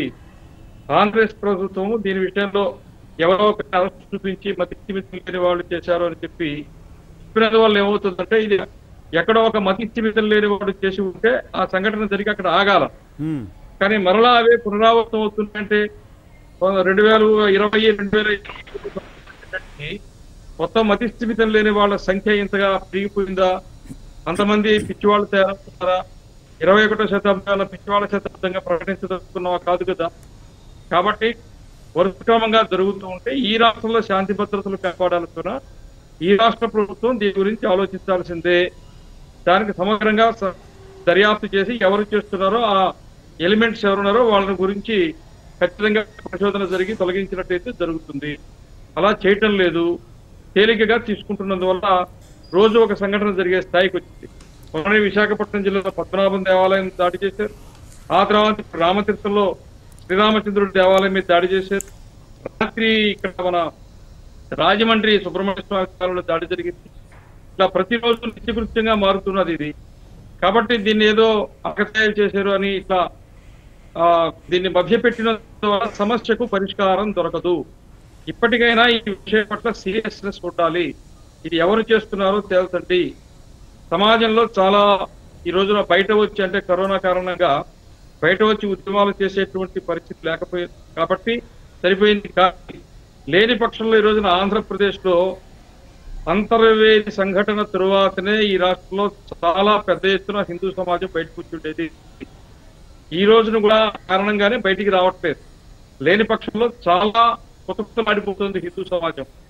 నేరుగా దేవాలయాల్లో మూల విరాట్ల మీదనే దాడి చేసే స్థాయికి అసాంఘిక శక్తులు జడలు విరబోసుకుని ఈ విధంగా చేస్తూ ఉంటే మరి ప్రభుత్వము నిమ్మకం నీరెత్తినట్టుగా చాలా తేలికగా తీసుకోవటం అనేటువంటిది అది చాలా దురదృష్టము. ఇది ప్రభుత్వానికి హిందూ దేవాలయాల పరిరక్షణ సమితి నుంచి మీరున్నారు. ప్రభుత్వం సీరియస్గా తీసుకోవాలనే డిమాండ్ మొదటి రోజు మొదటి సంఘటన పిఠాపురం ఆలయాలకు సంబంధించి జరిగిన సంఘటన రెండు వేల ఇరవై జనవరి ఇరవై ఒకటో తారీఖు జరిగింది. సరిగ్గా దాదాపు ఏడాది కావస్తోంది. ఈ ఏడాది కాలంలో చాలా ఇన్సిడెంట్లు వందకి పైగా జరిగాయి. ప్రభుత్వాన్ని ప్రతి సందర్భంలో డిమాండ్ చేస్తూ ఉన్నాం. ప్రభుత్వం సీరియస్గా చర్యలు తీసుకోవాలి యాక్షన్ తీసుకోవాలి. కానీ యాక్షన్ కనపడట్లేదు కానీ జరిగే దాడులు అయితే కంటిన్యూ అవుతున్నాయి. ప్రభుత్వం ఎలాంటి యాక్షన్ తీసుకోవాలి? యాక్షన్ తీసుకోవడానికంటే ముందే ప్రభుత్వంలో ఉన్న పెద్దలు చెప్తున్నారు ప్రతిపక్ష పార్టీ చేయిస్తోంది అని. ప్రతిపక్ష పార్టీ చేయిస్తోందని నమ్ముతున్నారా మీరు కూడా? రాజకీయ పార్టీ చేస్తున్న కార్యక్రమంగా దీన్ని చూడాలా? దానికంటే ముందే బిట్రగుంటలో రథం తగలబడింది. దానికంటే ముందు కూడా కొన్ని దేవాలయాల మీద దాడులు జరిగాయి. ఇవి వరుస క్రమంలో జరుగుతూ వస్తున్నాయి. ఒక దగ్గర జరిగిన సంఘటన కాదు. అంతర్వేది ప్రత్యేకించి ఎందుకు చెప్తామంటే అది ఇంకా అక్కడాగా జరిగిన సంఘటనలకి అది చాలా పై స్థాయికి వెళ్ళిపోయింది. అంతర్వేది అనేటువంటి తీర్థము అంతర్వేది దేవాలయము దాంతో ఉండేటువంటి కోట్లాది మంది దానితోటి గొడవ చాలా పెద్దది అయి ఉంటుంది. ఆ దృష్టితో చెప్పాం కానీ అంతకు ముందు కూడా అనేక సంఘటనలు జరిగాయి. జరిగితే ఇవన్నీ కూడా తేలికగా తీసుకుంటూ ఉన్నారు. అంతర్వేది సంఘటన తరువాత అన్ని సంస్థలు అదేవిధంగా అప్పటి ఇంకా మిగతా రాజకీయ పార్టీలు కూడా అంతర్వేదిలో రథానికి సంబంధించిన రోడ్డు మీదకి వచ్చి ఉద్యమం చేశారు. బీజేపీయే కావచ్చు తెలుగుదేశమే కావచ్చు జనసేన పార్టీ కావచ్చు వాటిలో ఉద్యోగం చేశారు. సరే అందరి డిమాండ్ మేరకి రాష్ట్ర ప్రభుత్వం కూడా సిబిఐ విచారణకు వాళ్ళు ఆదేశించారు. కానీ అక్కడి నుంచి సిబిఐకి సంబంధించినటువంటి కదలిక ఏమీ లేదు ఒకటి. ఈ రోజున నేను కోరుతున్నది ఏమిటంటే అసలు మొత్తం మీద ఎన్ఐఏకి అప్పచెప్పండి. నేషనల్ ఇన్వెస్టిగేషన్ ఏజెన్సీకి అప్పచెప్తే తప్ప ఇది తేలదు. ఈ మొత్తం జరుగుతున్నటువంటి వాటిలో ఎవరెవరు వెనక ఉన్నారో ఆ సిద్ధాంతాలు ఏంటో ఆ ప్రవృత్తి ఏంటో ఎందుకు ఈ దేశంలో అశాంతి తగిలించే కార్యక్రమాలు జరుగుతున్నాయో ఇప్పుడు రాష్ట్ర ప్రభుత్వానికి మనం చెప్పాము. చెప్తూ ఉండేవాళ్ళు తేలిగ్గా తీసుకుంటున్నారు. ఇప్పుడు ఒక దురదృష్టం ఏంటంటే మనం ఆ రకంగా ఆలోచించకూడదు. మేము మొదటి నుంచి కూడా రాజకీయ పార్టీలో ఒకవేళ అలా మాట్లాడినప్పటికీ పీఠాధిపతులు కానీ హిందూ సంస్థలు కానీ ఈ ప్రభుత్వాన్ని కానీ పార్టీని కానీ ఒక్క మాట కూడా అనలేదండి. కానీ ఏది ఈ పార్టీ వచ్చిన తర్వాతనో వీళ్ళ అధికారంలోకి వచ్చిన తర్వాతనో ఇలా జరిగాయని చెప్పి మేమేమీ అనలేదు. కానీ వాళ్ళు దాన్ని అంత సీరియస్గా తీసుకోలేదు మా బాధ. ఇప్పుడు ఉదాహరణకి ఈ చిలకలూరుపేటలో క్రైస్తవుల ధ్యానాలకు సంబంధించి ఒక సంఘటన జరిగితే హోంమంత్రి గారు వెంటనే వెళ్ళి వాళ్ళకి ఒక భరోసా ఇచ్చి ఈ సమస్యను మేము పరిష్కరిస్తామని మంత్రి గారు అక్కడ నిలబడ్డారు. ఆమెని ఖచ్చితంగా ఆమెను ఇప్పుడు మనం కీర్తించాలి. ఎందుకు అంటే ఆమె ఒక మతాన్ని నమ్మి ఆ మతం కొనసాగుతున్నది కాబట్టి సమస్య వస్తే అక్కడ పోయి నిలబడ్డారు. మరి ఇదే ప్రభుత్వంలో ఎంతమంది హిందూ ఎమ్మెల్యేలు ఉన్నారో ఎంపీలు ఉన్నారో మరి వాళ్ళు ఈ దేవాలయాలకు సంబంధించి అంతే పనిచేస్తున్నారా వీళ్ళందరిది బాధ్యత లేదా? స్వయంగా దేవాదాయ శాఖ మంత్రి మేము ఇక్కడ ఉండేటువంటి ఏమంటారు వాటిని దర్గాలకు మేము రక్షణ కల్పిస్తామని చెప్పి స్టేట్మెంట్ ఇచ్చారు మంచి ఖచ్చితంగా దర్గాలకు రక్షణ కల్పించాలి. మసీదులకి చర్చలకి రక్షణ కల్పించాలి. అదే నోటితో మేము దేవాలయాలకు రక్షణ కల్పిస్తామన్నమాట ఎందుకు అనలేకపోయారు? అదే హోంమంత్రి గారికి కూడా బాధ్యత ఉంది కదా. హోంమంత్రిగా రాష్ట్రంలో దేవాలయాలపైన వరుసగా దాడులు జరుగుతుంటే హోంమంత్రి గారికి కూడా బాధ్యత ఉంది. దేవాదాయ శాఖ మంత్రి గారికి కూడా బాధ్యత ఉంది. వాళ్ళు ఒక ఒక మతానికి సంబంధించిన ఆలయాల రక్షణ మాత్రమే కాదు కదా బాధ్యత. రాష్ట్ర ప్రభుత్వానికి ప్రభుత్వంలో దేవాదాయ శాఖ నిర్వహిస్తున్నటువంటి వాళ్ళకి ప్రతి ఒక్కరికి బాధ్యత ఉంది. అధికారులకు బాధ్యత ఉంది. జరుగుతున్న సంఘటనల పట్ల ఏదో ఒక కంప్లైంట్ ఇవ్వడం ఒక ఎఫ్ఐఆర్ చేయడం ఒక ఇద్దరిని అరెస్ట్ చూపించడం ఇలా చేస్తూ ఉంటే ఈ సమస్య ఆగుతుందని ప్రభుత్వం భావిస్తున్నదా? లేదు పోలీసు శాఖ వాళ్ళు అలా భావిస్తున్నారా లేదు దేవాదాయ శాఖ అలా భావిస్తున్నదా అలా అయితే పెట్టుకుంటప్పుడే ఆగి ఉండాలి కదా. గుంటూరు జిల్లాలో జరిగిన సంఘటన తర్వాత ఆగి ఉండాలి కదా ఎఫ్ఐఆర్ అయితే. ఇంకా అనేక దగ్గర జరిగిన ఎఫ్ఐఆర్లతో ఆగి ఉండాలి కదా. అంతర్వేది సిబిఐకి రాసిన తర్వాత ఆగి ఉండాలి కదా. ప్రభుత్వం ఎన్ని చేస్తున్నప్పటికీ ఎఫ్ఐఆర్ చేయడం ఒక ఇద్దరిని అరెస్ట్ చూపించడం చేస్తున్నప్పటికీ ఈ సంఘటనలు మరింత పెరుగుతున్నాయి కానీ ఆగటం లేదు. రైట్ సార్ చాలా పరితెగించి ఈ రోజు దేవాలయాల తలుపులు బద్దలు కొట్టి లోపలకు వెళ్ళి వందల సంవత్సరాల నాటి దేవీ దేవతల విగ్రహాలను ధ్వంసం చేసే స్థాయికి. ఇంత స్థాయిలో చాలా ఆర్గనైజ్డ్గా చాలా క్రిమినల్ క్రిమినల్ బ్రెయిన్ తోటి అంత ఆర్గనైజ్డ్గా జరుగుతుంటే. వాళ్ళని గుర్తించాలా ఖచ్చితంగా వాళ్ళపైన చర్యలు తీసుకోవాలా? రాజకీయ పార్టీలపైన ఆరోపణ చేయడం ప్రతిపక్షాలపైన ఆరోపణలు చేయడం ప్రభుత్వం చేస్తుంది అది చేయకూడదు ఖచ్చితంగా. ఒక నిమిషం స్వామీజీ. సత్యమూర్తి గారు good evening sir namaste sir. Satyamurthy గారు ఏంటి? ఆలయాలపైన వరుస దాడులకు కారణం ఏంటి? అధికార పార్టీ ప్రతిపక్షం పైన ఒక విమర్శ చేస్తోంది. ప్రతిపక్ష పార్టీ దీని వెనక ఉండి దాడులు చేస్తుందని హిందువుల మనోభావాలను కాపాడాల్సిన బాధ్యత ఎవరిది? దేవుళ్ళకి దేవాలయాల్లో ఉన్న విగ్రహాలకి అసలు దేవుడికి రక్షణ కల్పించాల్సింది ఎవరు? నిన్న ముఖ్యమంత్రి గారు ప్రకటించారు సీఎంఓ అధికారులతో చెప్పారు దేవాలయాలపైన దాడులు జరుగుతున్న అంశాన్ని చాలా సీరియస్గా తీసుకోండి చాలా సీరియస్గా ఉండాలి అటువంటి వాళ్ళని ఇమీడియట్గా పట్టుకోండి అరెస్ట్ చేయండి అని. చెప్పిన ఇరవై నాలుగు గంటల తర్వాత ఇమీడియట్గా చూస్తే మూడు ఆలయాలపైన మళ్ళీ దాడులు జరిగాయి. ఇంకెవరు రక్షించాలి దేవుళ్ళని? సార్ ముందుగా స్వామీజీ కమలానంద భారతి వారికి అలాగే మీకు అక్కడ ఉన్నటువంటి పెద్దలు బుచ్చయ్య చౌదరి గారికి మిత్రులకు జనసేన వారికి అందరికీ కూడా నమస్కారాలండి. ఇప్పుడు ఇది మనం కనుక చూస్తే ఇది మీరు అన్నారు పిఠాపురంతో మొదలవలేదండి. ఇది జగన్మోహన్ రెడ్డి అధికారంలోకి రాగానే మొదలైంది. ఇప్పుడు మనం కనుక చూసినట్టయితే జగన్మోహన్ రెడ్డి గారు అధికారంలోకి రాగానే ఒక ఐపీఎస్ ఆఫీసరు ఒక ఏ రకంగా మాట్లాడారు అనేది మనం కూడా కలెక్టర్ ఏ రకంగా మాట్లాడారు ఐఏఎస్ ఆఫీసర్లు వీళ్ళు ఈ రకంగా మన మతరాజ్యం వచ్చిందని చెప్పేసి మాట్లాడటం ఇవన్నీ కూడా మనం కొన్ని వీడియోలు చూసామండి. ఇవాళ ఇందాక మిత్రులు చెప్పినట్టుగా బుచ్చ గారు చెప్పినట్టుగా ఒక చిన్న పోస్టింగ్ పెడితే కార్యకర్తలను తీసుకెళ్ళి వాళ్ళు వేరే పార్టీ వాళ్ళకి చెందిన వాళ్ళైతే వాళ్ళని తీసుకెళ్ళి అరెస్ట్ చేస్తున్నారండి. ఇది మత సామరస్యానికి భంగం కలిగించాలి. మరి వీళ్ళని ఏం చేయాలండి? ఇప్పుడు ఈ ప్రభుత్వం కళ్ళుండి కూడా చూడలేనటువంటి ప్రభుత్వం చెవులుండి కూడా వినలేనటువంటి ప్రభుత్వం ఈ రోజున మన రాష్ట్రంలో ఉందండి. వీళ్ళు ఒక పద్ధతి ప్రకారం ఈ యొక్క మన యొక్క మెజారిటీ అయినటువంటి ఈ యొక్క హిందూ ధర్మం పట్ల వీళ్ళు ఒక ఉపేక్షతోటి ఈ కార్యక్రమాలని ఇప్పుడు అంటే మన రాష్ట్రంలో పిచ్చివాళ్ళు పెరిగిపోయారండి. ఏ సంఘటన జరిగినా ఏదో పిచ్చివాడు చేశాడని చెప్పేసి వీళ్ళు కప్పిపుచ్చేటువంటి ప్రయత్నం. పిఠాపురం పార్టీలు. స్వామి. లేని వాళ్ళు ఉన్నారు. ఇప్పుడు రాజకీయ పార్టీలపై చేస్తున్నారు విమర్శ. నేరుగా ముఖ్యమంత్రి మాజీ ముఖ్యమంత్రి చంద్రబాబు నాయుడు గారు లోకేష్ అలిగేషన్ పార్టీలు- చేశారు. వాళ్ళే దీని వెనక ఉన్నారు అని. అదే అదే అది పక్కే పెడదాం. మాకు రాజకీయాలు కాదండి. కావాల్సింది అందుకనే ఇప్పుడు స్వామీజీ లాంటి వాళ్ళు పూనుకోవాలి. ఇదివరకు మనం కనుక పురాణ కాలం నుంచి కనుక చూసినట్టయితే శ్రీరాముడి సమయంలో కూడా ఈ రాక్షసులు ఎప్పుడైతే వచ్చి యజ్ఞయాగాదులు వీటిని ధ్వంసం చేశారో అది పూనుకున్నది విశ్వామిత్రుడు అండి విశ్వామిత్రుడు వచ్చి దశరథ దగ్గరకు వచ్చి రాముడిని తీసుకెళ్ళి ఆ యొక్క రాష్ట్ర సంహారం చేయడం జరిగింది. ఈ రకంగా ఇప్పుడు పూనుకోవాల్సింది దేవుళ్ళు దేవాలయాలు రక్షించాల్సింది ఇప్పుడు స్వామీజీలే. కాబట్టి ఇప్పుడు ఎందుకంటే ఇంత మీరు అన్నారు ఎవరికి దేవుడికి ఎవరు దిక్కెవరు అని. అటువంటి పరిస్థితిని వీళ్ళు కావాలని చెప్పి ఈ రోజున కల్పిస్తున్నారు. ఇప్పుడు దొండగోల్ని దాడి చేసినటువంటి వాళ్ళని దండించకపోతే పోయిందండి. కనీసం ఖండించేటువంటి ఒక వివేచన కూడా కనీసం వీళ్ళకి లేదు ఈ- ఈ యొక్క రాజకీయ నాయకులకి వాళ్ళు ఉన్నటువంటి మంత్రులకి. నోటుకొచ్చినట్టు మాట్లాడుతున్నారు. ఒక ఆయన అంటాడు ఆంజనేయుడికి ఏం కాలిపోతే మనం కాలు పెట్టించలేమా? విగ్రహం పోతే విగ్రహం చేయించలేమా? ఎందుకు వీళ్ళు బీజేపీ వాళ్ళంతా అలర చేస్తారు? బీజేపీ వాళ్ళంతా ఇంకొక ఆయన అంటాడు దేవాదాయ శాఖ మంత్రి అంటాడు బీజేపీ వాళ్ళు మత సామరస్యాన్ని. ఆయన మా పార్టీ నుంచి వెళ్ళిపోయాక ఆయనకి గుర్తొచ్చింది మత సామరస్యం. ఆయన మా- మాట్లాడతాడు నోటుకు వచ్చినట్టు మాట్లాడుతున్నాడు ఆయన.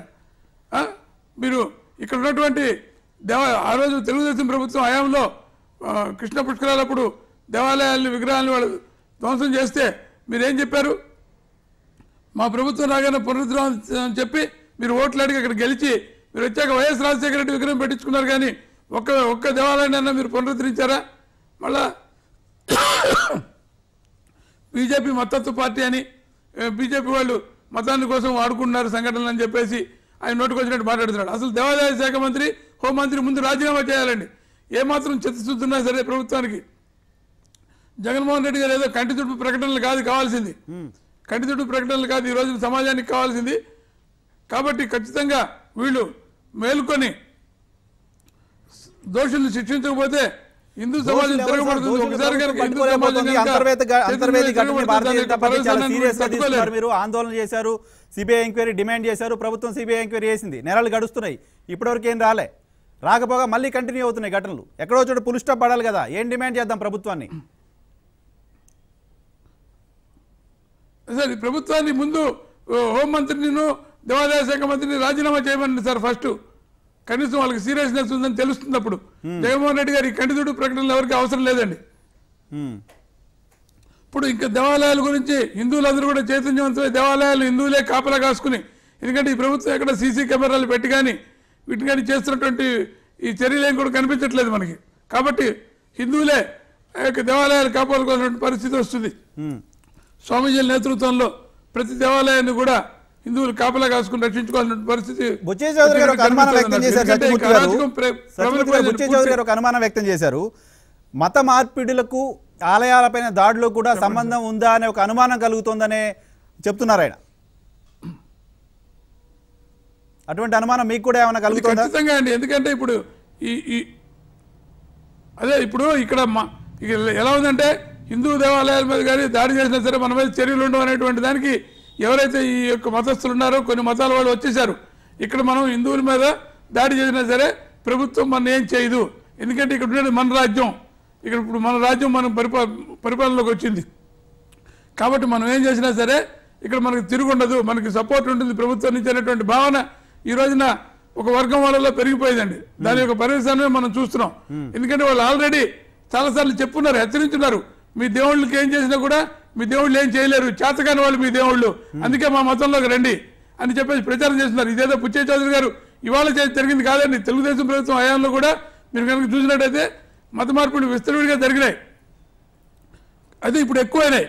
ఇప్పుడు ఇంక ఇంకా ఎక్కువైనాయి తప్ప మత మార్పులు అనేవి చాలా కాలంగా జరుగుతూనే ఉన్నాయి. ఎందుకంటే ప్రభుత్వాలు ఈ యొక్క ఓటు బ్యాంక్ రాజకీయాలు చేయటం వల్ల అల్పసంఖ్యాక వర్గాల కోసం సంతుష్టీకరణ రాజకీయాలు చేయటం వల్ల ఇప్పుడు ఇవన్నీ పెరిగినాయి. ఇప్పుడు ఇవాళ తెలిసింది బుచ్చే చౌదరి గారికి ఇన్ని రోజులు అయిన తర్వాత ఇప్పటికైనా తెలిసినందుకు వారిని అభినందిస్తున్నాను నేను. ఎందుకంటే ఈ విషయాలు ఎప్పుడు కూడా ఆయన మాట్లాడి ఉండరు. ఆయన నోటి మీద మొట్టమొదటిసారి ఇటువంటి మాటలు నేను వింటున్నాను బుచ్చే చౌదరి గారి నోటి నుంచి. కాబట్టి ఇవి మేము ఇప్పటి నుంచి మొత్తుకుంటున్నాం. ఆలయం పర్వాలేదు. విగ్రహాల ధ్వంసం జరిగిన తీరు చూస్తే ఖచ్చితంగా హిందువులకు ఎవరికైనా అటువంటి ఆందోళన అటువంటి ఆవేదన కలుగుతుంది. వరుసగా జరుగుతున్నాయి కంటిన్యూస్గా జరుగుతున్నాయి. ఎక్కడ దోషులు పట్టుకోవట్లేదు శిక్ష కనపడట్లేదు. ఎవరైనా ఆలయం వైపు చూస్తే ఆలయంలో విగ్రహం పైన చేయేస్తే శిక్ష పడుతుంది పట్టుకుంటారనే ఒక భయం ఉంటే ఇంతకుముందు స్వామి గారు చెప్పినట్టు ప్రత్యేకంగా స్పాన్సర్డ్గా ఎవరైనా ఒక టీం వచ్చి చేస్తుంటే కూడా ఒక భయం ఉంటుంది. ఏం లేదు కదా రామతీర్థం జరిగింది అందరం మాట్లాడుకుంటున్నాం అందరూ విజిట్స్ అయ్యాయి అక్కడికి. అదే టైంలో తెల్లారేసరికి మళ్ళీ రెండు ఆలయాలపైన జరిగాయి. ఎక్కడ ప్రొటెక్షన్ ఉంటుంది? కనీసం సీసీ కెమెరాలు కూడా ఇలాంటి ఆలయాల దగ్గర ఆలయాల దగ్గర పెట్టాల్సిన అవసరం ఏమైనా ప్రభుత్వం ఎప్పటికైనా గుర్తిస్తుంది అనుకోవాలా? సీసీ కెమెరాలు పెట్టాల్సిన అవసరాన్ని ఏమైనా మీరు కూడా గుర్తిస్తున్నారా?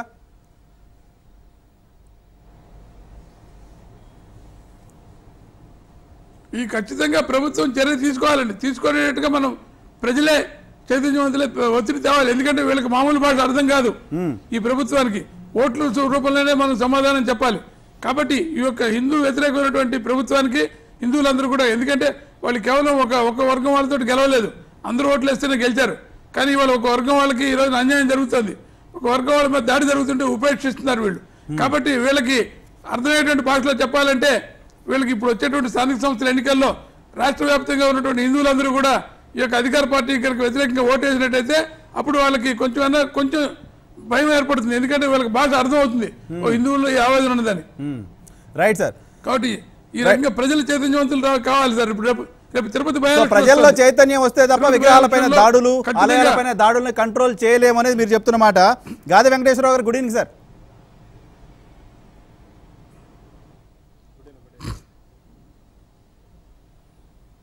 వెంకటేశ్వరరావు గారు నా మాట వినిపిస్తుందా? చెప్పండి సార్ వెంకటేశ్వరరావు గారు ఏంటి? దేవుళ్ళకు దిక్కెవరు? దేవుళ్ళను కాపాడాల్సింది ఎవరు? దేవుళ్ళకు రక్షణ కల్పించడం కోసం రాజకీయ పార్టీలుగా ఏం చేయాల్సిన అవసరం ఉంది? ప్రభుత్వం వైపు నుంచి ల్యాబ్స్ కనిపిస్తున్నాయి. ప్రభుత్వం పట్టించుకోవట్లేదు అనే విమర్శలు ఎదుర్కొంటోంది. రాజకీయ పార్టీలుగా ఏ రకమైన పోరాటం దేవుళ్ళపైన జరుగుతున్న దాడులకు సంబంధించి చేయాల్సిన అవసరం కనిపిస్తోంది? నరసింహరావు గారు ముందుగా మీకు ప్యానలిస్టులకి అట్లాగే ఈ రాష్ట్ర ప్రజలకి నూతన సంవత్సర శుభాకాంక్షలు. థ్యాంక్ యూ సార్ మీకు కూడా. ఇకపోతే దురదృష్టకరం ఏంటంటే ఈ యొక్క నూతన సంవత్సరం మొదటి రోజునే జనమందరూ ఆశీర్వాదాసనం కోసం గుళ్ళుకు పోతారంతా.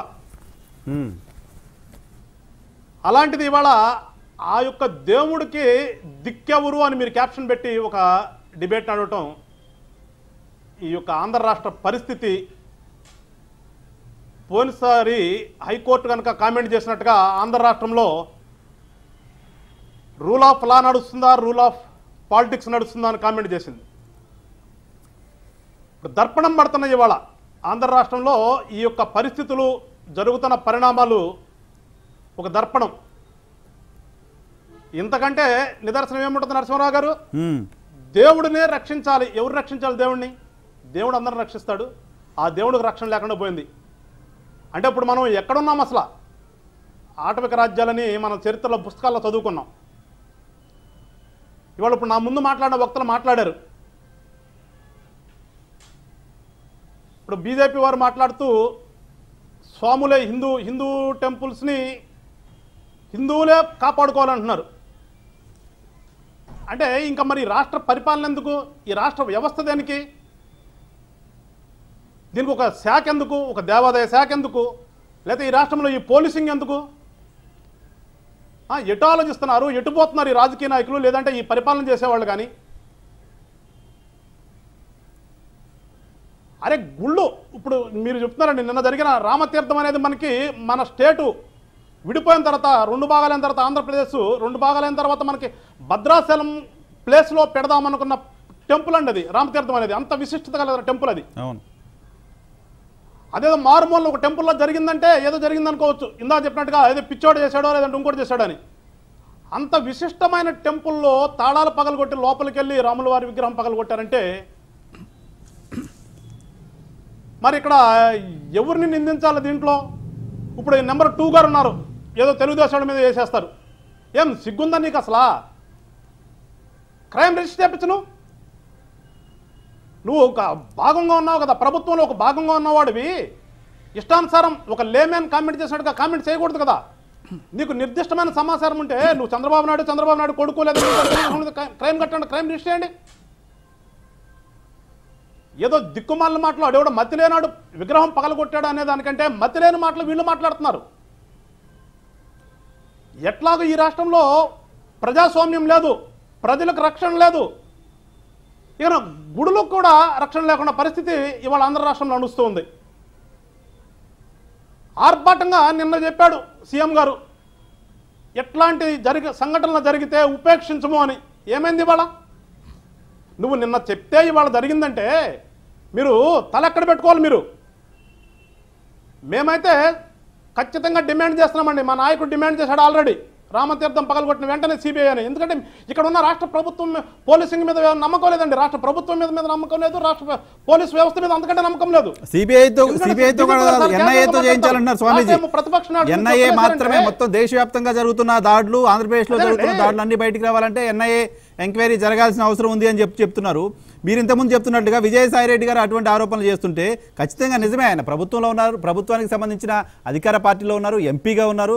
ఆయన దగ్గర ఒక రాజకీయ పార్టీకి సంబంధించిన వాళ్ళే దాడులు చేశారని సమాచారం ఉంటే బయట పెట్టాలా పోలీసులకు ఇవ్వాలి ఎంక్వైరీ చేయాలా బయటికి తీసుకురావాలి? ఆరోపణ ఈయన ఎలా చేస్తారో పక్క ఎంక్వైరీ జరుగుతున్న టైంలో? ఎస్ అదే చెప్తున్నాడు మేము. ఇప్పుడు అసలు ఎన్ఐఏ అంటే మీరు సిగ్గుపడాలండి. మీ మీ ప్రభుత్వం ఇక్కడ ఏమి లేదా? పోలీసింగ్ వ్యవస్థ ఏమి చేస్తుంది ఇక్కడది? ఇప్పుడు ఒకటండి నరసింహరావు గారు నేను చేయలేని పని మిమ్మల్ని చేయమని అంటే నేను చేయలేనట్టు ఒప్పుకున్న తర్వాత మిమ్మల్ని చేయమంటాను. ఇక్కడ మీకు ఎందుకు పోషిస్తున్నారు మరి? ఈ రాష్ట్ర ప్రజల యొక్క డబ్బులన్నిటి మీరు జీతాలుగా తీసుకుని ఏం చేస్తున్నారు మీరు ఇక్కడ? చాలా సింపుల్గా క్యాజువల్గా అంటారండి. మన డీజీపీ గారు తెలుసు కదా పోయినసారి చంద్రబాబు నాయుడు మీద ఎవడో చెప్పేసి రాజధాని వచ్చినప్పుడు ఏమన్నాడు? వాడు నిరసన తెలిపారంట. అంత క్యాజువల్గా మాట్లాడే నిస్సిగ్గుగా మాట్లాడే ఒక డీజీపీ ఉన్నటువంటి ఈ రాష్ట్రంలో మనము ఏమి కోరుతాము? ఎవరిని కోరాలి ఇంకా మేము అందుకేనండి మా మా నాయకుడు కోరింది కూడా సిబిఐ అన్నాడు. లేదు ఇవాళ గవర్నర్ గారు దీంట్లో జోక్యం చేసుకుని ఇక్కడ ఎమర్జెన్సీ విధించాలండి ఇవాళ. ఎందుకంటే నిన్న సీఎం గారు మాట్లాడిన మరుక్షణమే ఇవాళ జరిగిందంటే ఎవరి వైఫల్యం అది ఎవరి వైఫల్యం అండి అది? ఇంతకంటే ఇంకా నిదర్శనమాలు ఏం కావాలి? ఈ రాష్ట్రంలో శాంతి భద్రతలు లేవు అనడానికి ఏం మీకు మొన్న చూశానండి మేము అటు వెళ్తూ చూసాము తాడేపల్లిలో. ఐదు మీటర్లకు ఒక పోలీసుని పెట్టుకున్నావు నువ్వు నీ ఇంటికి కాపలాగా. ఐదు మీటర్లకు ఒక పోలీసుని పెట్టుకున్నావు నువ్వు. ఈ రాష్ట్రంలో ఉన్న పోలీసు వ్యవస్థ అంతా ఇవాళ తాడేపల్లి బంగ్లా చుట్టూతా. వాళ్ళ పోలీసులు. రాజధానిలో ఎనిమిది మంది. ఎస్ అదే చెప్తుంది సార్ నేను. వస్తాను మా పాయింట్కి వస్తాను. నీ ఇంటి చుట్టూతా ఐదు మీటర్లకు ఒక పోలీసుని పెట్టుకుని కాపలా కప్పుకుంటున్నావే? అలాగే రాజధానిలో ఒక ఎనిమిది మంది డిఎస్పీలు ఒక పదమూడో పదిహేను మంది సిఐలు ఒక పాతిక మంది ఎస్ఐలు ఒక నాలుగు వందల నుంచి ఐదు వందలు రకరకాల ఏఆర్ కానీ సివిల్ వాళ్ళు కానీ లేకపోతే ఏపీఎస్పీ వాళ్ళు కానీ ఇలాంటి కానిస్టేబుల్స్ పెట్టుకుని వ్యవస్థనంతా నువ్వు అక్కడ కూర్చోబెట్టావా? దేనికి అక్కడ నీకు? ఇకపోతే మనం మనకు ఇంకోటి అండి నరసన్న గారు మీకు కూడా చెప్తున్నాను. ఈ ఈ వ్యవస్థలో ఈ పోలీస్ వ్యవస్థలో దాదాపు ఒక పాతిక మంది దాకా డిఎస్పీలు పోస్టింగ్ లేకుండా ఉంటారు విఆర్లని విఆర్ సిస్టమ్ ఒకటి ఉంటుంది మనకు తెలుసు మీకు. అట్లాగే సిఐలు ఒక యాభై మంది పైన ఉండి ఉండొచ్చు నాకు తెలిసి. ఇలా మీరు అందరూ వీళ్ళు ఎందుకు కూర్చోబెడుతున్నారు మీరు? అనవసరమైన సాట మీరు ఉపయోగించుకుంటూ మీరు అవసరమైన సాట లేకుండా ఇవాళ మీరు ఏదో చెప్తూ కలబల్ల మాటలు చెప్తూ ఊరికిన స్టేట్మెంట్లు ఇస్తూ ఇక ఇందాక మన వక్తలు మాట్లాడారు.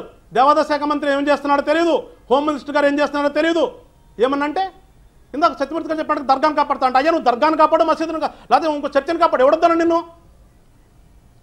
నీ నీ పోర్ట్ఫోలియో ఏంటి నీకు? అసలు తెలియదు మీకు. సగం మందికి దరిద్రం ఏంటంటే సార్ మన కేబినెట్లో ఉన్న మినిస్టర్లకి వాళ్ళ పోర్ట్ఫోలియో ఏంటో వాళ్ళకి తెలియదు వాళ్ళ తెలిసిందే ఒకటే అమరావతి. ఇంకోటి ఏదో ఎస్సీసీ నిమ్మగడ్డ రమేష్. వాళ్ళిద్దరి గురించి తప్పితే ఈ రాష్ట్రంలో ఇక్కడ అసలు పోర్ట్ఫోలియో ఉన్న? తెలియదు ఎవడికి. అలాంటి పరిపాలన జరుగుతున్నప్పుడు ఏమంటే మనకు ఉదాహరణ ఏంటి? ఇప్పుడు ఈ దేవాదాయ శాఖ మినిస్టర్ ఎవరైనా ఎల్లంపల్లి శ్రీనివాస్ గారు ఉన్నారు. ఆయన పక్కనే ఉన్నటువంటి ఈ రాష్ట్రంలో ప్రసిద్ధమైనటువంటి ఒక టెంపుల్లో రథం యొక్క సింహాసన సింహం ప్రతిమలు పోతే ఏం మాట్లాడండి ఆయన. ఇంకా వాళ్ళు ఏం చేస్తారు సార్? ఈ రాష్ట్రంలో వాళ్ళకి ఏమీ అవసరం లేదు. వాళ్ళు పెట్టుకున్నారు కదా నవరత్నాలని. ఆ నవరత్నాలు అనే సిస్టమ్ ద్వారా ఓటు బ్యాంకుని కాపాడుకోవాలి. ఈ రాష్ట్రంలో ఉన్నటువంటి డబ్బుని వెదజల్లి ఓట్లకి వెదజల్లటం అంటే ఓటులకి ఆ ఓడి ఈ ఓడి ఆ బడి ఈ బడి. అది చేయమనండి సార్ అదే దాన్ని ఎవరు తప్పు పట్టట్లే ఎన్నికల్లో హామీలు ఇచ్చారు నవరత్నాలని అధికారంలోకి వచ్చారు అమలు చేయండి ఓకే. కానీ తరతరాలుగా వందల సంవత్సరాల చరిత్ర ఉన్న ఆలయాల్లో విగ్రహాలను ధ్వంసం చేస్తే దానికి బాధ్యత వహించాల్సిన అవసరం లేదా ప్రభుత్వం? ప్రభుత్వం ఎందుకు అంత సీరియస్గా యాక్షన్ తీసుకోవట్లేదు? ఇంతకుముందు చాలా వ్యాలిడ్ పాయింట్ చెప్పారు. బాధ్యత వహించాలి. బాధ్యత వహించాలి. సోషల్ మీడియాలో ఒక పోస్ట్ పెడితే తీసుకెళ్ళి లోపలేస్తున్నారు. సిఐడి నోటీసులు ఇస్తున్నారు. వయసుతో సంబంధం లేకుండా అరవై డెబ్బై సంవత్సరాల వయసున్న వృద్ధులను కూడా సోషల్ మీడియాలో పోస్ట్ పెట్టారని. ఎందుకు ఈ ఆలయాలపై దాడులు జరుగుతున్న వాళ్ళని గుర్తించలేకపోతుంది ప్రభుత్వం? పెడతారు. ప్రభుత్వం ఇంటెన్షన్ని కూడా అనుమానించాల్సిన అవసరం. కనిపిస్తుందా? కాదే వెంకటేశ్వరరావు గారు. కావాల్సిందే సార్. ఖచ్చితంగా అనుమానాలు వస్తాయండి. ఇప్పుడు మీరు నేను ఒకటి చెప్పానని మీరు చేయలేదంటే దాన్ని దాటేస్తాను అనుకోవచ్చు ఇంకోటి ఇంకోటి అనుమానం ఎందుకు లేదు సార్? వీళ్ళ వైఫల్యం. వాళ్ళకి వాళ్ళకి ఈ మతం పట్ల అవసరం లేదు. హిందూ దేవాలయాల పట్ల అవసరం లేదు. వాళ్ళు ఈ రకంగా కొడితే ఇంకొక ఇంకో మతం వాళ్ళకు ఇంకో మతం వాళ్ళకు సపోర్ట్ చేస్తారనే పిచ్చి ఆలోచన ఒకటి ఉండొచ్చు. కానీ మేము చెప్తున్నాం? ఈ రాష్ట్రము అన్ని మతాలతో కూడుకున్నదయ్యా. మీకు ఒక మతం వాళ్ళు సరిపోరు అని అనుకుంటున్నారేమో. ఒక మతంతోనే మీరు కాపాడుకుందాం అనుకుంటే కూర్చుంటారు. ఇందాక బుచ్చి చౌదరి గారు చెప్పారు వాళ్ళకి ఏ, జెరూసలం వెళ్తే డబ్బులు ఇస్తారు ఇంకోసారి కానీ అది అనాదిగా ఉందండి తెలుగుదేశం వాళ్ళు చేసిందేనా? ఇప్పుడు అప్పుడు హిందువులు ఆళ్ళు పట్టించుకోలేదు. వాళ్ళకి కావాల్సినప్పుడు వాళ్ళు చేశారు. ఇప్పుడు వీళ్ళు ఇంకొంచెం ఎక్కువ చేస్తున్నారు. వీళ్ళకి ఏంటంటే ఎంతసేపు ఉన్నా ఒక వర్గాన్ని కాపాడుకుంటే ఆ వర్గం ఉంటుంది కడమ వర్గం మన వెనకాలే ఉంటారనేది ఒకటి. హిందువులు ఏమి తెలివి తక్కువ వాళ్ళు కాదు అమాయకులు కాదు. మేము హిందువులు అని చెప్పడానికి ఎందుకంటే మా మా యొక్క పార్టీ సిద్ధాంతం సర్వమత సమ్మేళనం అండి. మేము అన్ని మతాలని ఒకే రకంగా చూసే పద్ధతిలో మా పార్టీ యొక్క మూల సిద్ధాంతం అది. కానీ ఇక్కడ జరుగుతుంది ఏంటంటే టార్గెటెడ్గా ఒక వ్యవస్థని ఒక సాంప్రదాయాలు ఉన్నటువంటి ఒక మతాన్ని మీరు ఎప్పుడైతే నశింపజేయాలనే ప్రయత్నం జరుగుతుందో దాన్ని మీరు నిర్మూలించలేకపోతే ఖచ్చితంగా గవర్నమెంట్ మీద సందేహం వస్తుంది. మీరు గవర్నమెంట్ చేస్తుందా లేదా అని చేపిస్తుందా అనేది పక్కన పెడితే సందేహం అనేది రావటం అనేది సహజం అది సహజ లక్షణం మనిషికి. సో ఇప్పటికైనా సరే మేము జనసేన పార్టీ తరపున మిమ్మల్ని గట్టిగా కోరుతున్నాము డిమాండ్ చేస్తున్నాం. మీ వల్ల కాకపోతే మీరు చేతులు ఎత్తేసేయండి. గవర్నర్ గారిని కోరుతున్నాం. ఈ రాష్ట్రంలో అత్యవసర పరిస్థితిని ప్రకటించడానికి మీరు చర్యలు తీసుకోవాలని చెప్పేసి మేము జనసేన పార్టీ తరఫున కోరుతున్నాం. రైట్ సార్ రైట్ సార్ వచ్చిన బ్రేక్ తీసుకుందాం. బ్రేక్ తర్వాత ఇదే అంశానికి సంబంధించిన debate continue back Bucche Chowdary garu. Bucche Chowdary గారు అనుమానం బలపడుతోంది. అనుమానానికి సంబంధించి రాజకీయ పార్టీలు మిగతా వాళ్ళు కూడా సపోర్ట్ చేస్తున్నారు. ఏదో ఏదో లింక్ ఉండొచ్చు ఆ రెండింటికి కూడా అని చెప్పి. రేపు చంద్రబాబు నాయుడు గారి పైన ఆరోపణ చేశారు విజయసాయి రెడ్డి గారి రేపైన విజయనగరం జిల్లాకి వెళ్తున్నట్లున్నారు తెలుగుదేశం పార్టీ డిమాండ్ ఏంటి? మొత్తం ఇన్సిడెంట్కి సంబంధించి ఇప్పుడు ఏం జరగా ఏం చేయాల్సిన అవసరం ఉంది ప్రభుత్వం భావిస్తోంది? ఇందాక సత్యమూర్తి గారు మాట్లాడిన దానికి రెండు మూడు విషయాలు నేను మళ్ళీ మాట్లాడతానండి. అది పక్కన పెడితే నేను రాజకీయాల కంటే ఇవాళ హిందూ ధర్మం మీద జరుగుతున్న దాడి ఏదైతే మెజారిటీ మెజారిటీగా ఉన్న హిందువుల యొక్క మనోభావాలు దెబ్బతినేలాగా ఈ విగ్రహాల ధ్వంసాలు చేయటం కానీ రథాలను కాల్చివేయటం కానీ దాని మీద ఎందుకు సరైన చర్యలు తీసుకోవటం లేదు అనేది ప్రధాన ప్రశ్న. అలాగే మత మార్పిడి తీవ్రంగా పెరిగిపోతా ఉన్నాయి. సరే ఎప్పటి నుంచి? రాజశేఖర రెడ్డి గారు ముఖ్యమంత్రిగా అయిన తర్వాత ఆయన బావ అల్లుడు బ్రదర్ అనిల్ గారి ద్వారా మత వ్యాప్తి మొదలైన విషయాన్ని బహుశా సత్యమూర్తి గారు గుర్తుపెట్టుకుంటే మంచిదని వారికి తెలియజేస్తా ఉన్నా. ఎప్పటి నుంచో మత మార్పిడులు ఉన్నాయనేది. సరే పూర్వం నుంచి ఉన్న బ్రిటిష్ వారి కాలం నుంచి మత మార్పిడులు ఉన్నా ఈ మధ్య కాలంలో రాజశేఖర రెడ్డి గారు ముఖ్యమంత్రి అయిన దగ్గర నుంచి మొదలయ్యి ఇప్పుడు పతాక స్థాయికి వెళ్ళిపోతా ఉంది. అది బహుశా వారు బీజేపీ నాయకులు గమనించుకోవాల్సిన అవసరం ఉంటుంది. ఎందుకంటే హిందూ ధర్మానికి మేమే ప్రతినిధులు అని చెబుతున్నారు కనుక ఇవాళ నేను ఇందాక ఏమంటున్నారంటే ఓట్లతో తీర్పు పేరుని ఓట్లతో తీర్పు చెప్పేది కాదు. ఓట్ల కోసం కాదు ఇది. హిందూ ధర్మాన్ని కాపాడుకోవాల్సిన దానికోసం నేను మాట్లాడుతున్నాను మెజార్టీ యొక్క అభిప్రాయం. ఎందుకంటే మతాల మధ్య చిచ్చు రాకూడదనే దానికోసం మాట్లాడుతున్నాం. నేను అన్ని మతాలకు సమానంగానే చూస్తాను. ఇన్నేళ్ళు ఇందాక అన్నారు ఎప్పుడు మాట్లాడలేదని. ఎస్ మీరు చెప్పారు ఒకప్పుడు పు- పుష్కరాల్లో రోడ్లు వైడింగ్ చేయాల్సి వస్తే రాజమండ్రిలో మురుగు కాలువల మీద రోడ్డు మార్జిన్లో ఉన్న చిన్న చిన్న దేవాలయాన్ని తీసి పన్నెండు బ్రహ్మాండమైన దేవాలయాలు కట్టించాం. మీకు బహుశా గుర్తుంటారు సత్యమూర్తి గారు రాజమండ్రి వస్తే పన్నెండు దేవాలయాలు గోదావరి తీరంలో ఆహ్లాదకరంగా బ్రహ్మాండంగా కట్టాం. ఎక్కడ రోడ్డు మురుగు కాలువల మీద కాదు దేవతలు ఉండాల్సిందని మార్చాం. ఆ విధంగా చేసాం. అలాగే కృష్ణా పుష్కరాలకు కూడా కొంత రోడ్లు వైండింగ్లు ఇవాళ పెరుగుతున్న జనాభాను బట్టి రోడ్లు కానీ అవన్నీ చేయాల్సి వచ్చినప్పుడు కొంత సర్దుబాట్లు చేయడం జరుగుతుంది. దాన్ని విగ్రహాలు కూల్చేశారన్నట్టుగా మాట్లాడుతూ ఉన్నారు. సర్దు మార్పులు చేసుకుంటూ వెళ్తా ఉన్నారు. సరే అది పక్కన పెడదాం. ఇవాళ విగ్రహం అనేది ఇవాళ అంబేద్కర్ మహాశయుడు రాజ్యాంగం రచించిన ఒక అంబేద్కర్ మహాశయుడు దళితులకు కానీ బలహీన వర్గాలకు కానీ ఆరోగ్యదయం ఆయనకే కదా మనకు కూడా మనకు కూడా మనకు ఒక మత స్వేచ్ఛ భావ స్వేచ్ఛ వాక్ స్వాతంత్రం ఇచ్చే మహానుభావుడు ఆయన. ఆయన గౌరవిస్తాం. ఆయన విగ్రహం ఎక్కడైనా ధ్వంసం చేస్తే వెంటనే రియాక్ట్ అయ్యి మన విగ్రహం పెట్టడమో దాన్ని బాగు చేయటమో చేయించే ప్రభుత్వం. ఇవాళ హిందూ ధర్మాలకు సంబంధించిన దేవాలయాలు ఏదైనా పాడు చేస్తే ఎందుకు వెంటనే చర్యలు తీసుకోవట్లేదని మేము ప్రశ్న. ఇవాళ ఏదైతే ఉందో సత్యమూర్తి గారు గమనించాలి. అమరావతిలో ఒక టీటీడీ ద్వారా హిందూ ధార్మిక దేవాలయం వెంకటేశ్వర స్వామి దేవాలయం కట్టాలని మొదలు పెడితే ఆ ప్రాజెక్టుని కుదించేశారు. అదే ఇవాళ రాజశేఖర రెడ్డి గారి విగ్రహమో లేకపోతే విజయవాడ నడిబొడ్డున మరో అంబేద్కర్ గారి విగ్రహం పెట్టాలంటే వందల కోట్లు ఇవ్వడానికి సిద్ధపడ్డ ప్రభుత్వం ఆ దేవాలయాన్ని కేటాయింపు చేసిన డబ్బు ఎందుకు రద్దు చేసిందంటే సమాధానం లేదు సార్. ఇది మేము అనేది అలాగే హిందూ ఆస్తులు ధ్వంసం అవుతున్నాయి నిన్న రాజమహేంద్రవరంలో ఆర్య సదనం ఉంది సార్. వైశ్య సేవా సదనం ఒక ట్రస్ట్. అది దేవాలయ పరిధిలో ఉంది. దాని భూముల్ని ప్రభుత్వం కబ్జా చేసింది సార్. పక్కనున్న భూమికి అరవై నాలుగు లక్షల రూపాయలు ఇచ్చి ఈ భూమికి యాభై రెండు లక్షల రూపాయల చొప్పున ప్రైవేట్ వ్యక్తులకు డబ్బులు ఇచ్చేశారు సార్. అదేమంటే వెల్లంపల్లి శ్రీనివాస్ మాట్లాడు. ఆయనే సపోర్ట్ అట ఆ డబ్బుకి. అంటే ఎవరైతే కబ్జా చేస్తున్నాడో విజయవాడలో కొన్ని మఠాలకు సంబంధించిన భూములు ప్రైవేట్ వ్యక్తులకు కట్టబెట్టాడు. ఆయన మంత్రిగా ఉన్నారు. నేను అడుగుతా ఉన్నా శ్రీశైలంలో అన్యమతస్తులు టీటీడీలో అన్యమతస్తులు చర్చిల్లో గాని మసీదుల్లో గాని ఇతర మ- మతస్థుల్ని ఎలా చేస్తారా? చూడటానికి కాదండి. పూజారులుగా కానీ పీస్ట్గా కానీ ఎలా చేస్తారా? మరి ఎందుకు ఇక్కడ ఎలా చేస్తా ఉన్నారు? దీని మీద చర్చించాల్సిన అవసరం లేదా? ఇవాళ హిందూ దేవాలయ ఆస్తులు ధ్వంసం అవుతున్నాయి ఓట్లు పక్కన పెడదాం. ఇవాళ ఎందుకు మాట్లాడు సత్యమూర్తి? ఎందుకు ఖండించరని ఒక పార్టీ చేస్తుందా? లేకపోతే బీజేపీ ఓట్ల కోసం చేస్తుంది హిందూ మతాన్ని వ్యాప్తి చేయడం కోసం ఓట్ బ్యాంక్ సాధించడం కోసం బీజేపీ వాళ్ళు చేశారంటే మీరు ఒప్పుకుంటారా? జగన్ ఇవాళ విజయసాయి రెడ్డో సజ్జల రామకృష్ణారెడ్డి మాట్లాడి ఎందుకు ఖండించరు మీరు? ఎందుకు ఖండించరండి? ఇవాళ చంద్రబాబు చేయించారా లేకపోతే లోకేష్ చేయించాడా పింక్ డైమండ్ విషయంలో ఎందుకు పట్టుబట్టరు మీరు? ఒకప్పుడు సపోర్ట్ చేశారు కదా మీ నాయకులు కూడా పింక్ డైమండ్ విషయంలో. ఎందుకు ఇవాళ కేసు విత్డ్రా చేసుకుంటున్నావు? ఆ పింక్ డైమండ్ తెచ్చి పెట్టించాలి అక్కడని చెప్పి ఎందుకు డిమాండ్ చేయరండి? ఇవన్నీ రాజకీయాలు మాట్లాడదలిస్తే చాలా మాట్లాడుతుంది. నేను ఏమంటున్నానంటే ఓట్లు కాదు రాజకీయం కాదు. ఇది ధర్మానికి సంబంధించింది విశ్వాసానికి సంబంధించింది మత విశ్వాసాలకు సంబంధించింది. దానివైపే నేను మాట్లాడుతున్నా. ఇవాళ ఎందుకు? నేను అందరినీ గౌరవిస్తా. నేను అన్ని మతం వాళ్ళని నేను గౌరవిస్తా. నేను అన్ని భావాలతోటి ముందుకెళ్తాను. ఏ మతంలో మంచి ఉన్నా బౌద్ధంలో ఉన్నా మంచి స్వీకరిస్తాం. క్రైస్తవంలో ఉన్నా స్వీకరిస్తాం. ఖురాన్లో ఉన్నా స్వీకరిస్తాం. అన్నిటినీ స్వీకరిస్తాం. కానీ నా ధర్మం హిందూ ధర్మం హిందూ ధర్మంగానే వెళ్తాను. అది వేరే విషయం. అంత మాత్రాన మతమౌఢ్యం లేదు నాకు. ఇప్పుడు ఏంటి సార్? ఏం చేయాల్సిన అవసరం ఉంది? ప్రభుత్వాన్ని ఏం? డిమాండ్ ఈ చేయాల్సిన అవసరం ఉంది? ఈ ప్రభుత్వం ఈ ఎవరైతే దాడులు పాల్పడ్డారో వాళ్ళని బయటకు తీసుకొస్తుంది. అరెస్ట్ చేస్తుందని చెప్పని భావించవచ్చా? అటువంటి ఆశ హిందువులంతా అటువంటి ఆశతో ఉండొచ్చా? సార్ కర్నూలులో పూజారుల మీద దాడి చేస్తే ఏం చర్యలు తీసుకున్నారు సార్? పూజారిని మీద కొట్టే చిత కొట్టేస్తే దేవాలయంలో చెత్త కొట్టేస్తే ఏం చర్యలు తీసుకుంది ప్రభుత్వం? ఆ పార్టీ నాయకులు పూజారిని దేవాలయాల మీద దాడి చేస్తామంటే శ్రీశైలంలో దాడి చేస్తామంటే ఎందుకు చర్యలు తీసుకోవడం లేదు? అదే ఒక చర్చికి వెళ్ళి దాడి చేస్తే ఊరుకుంటారా?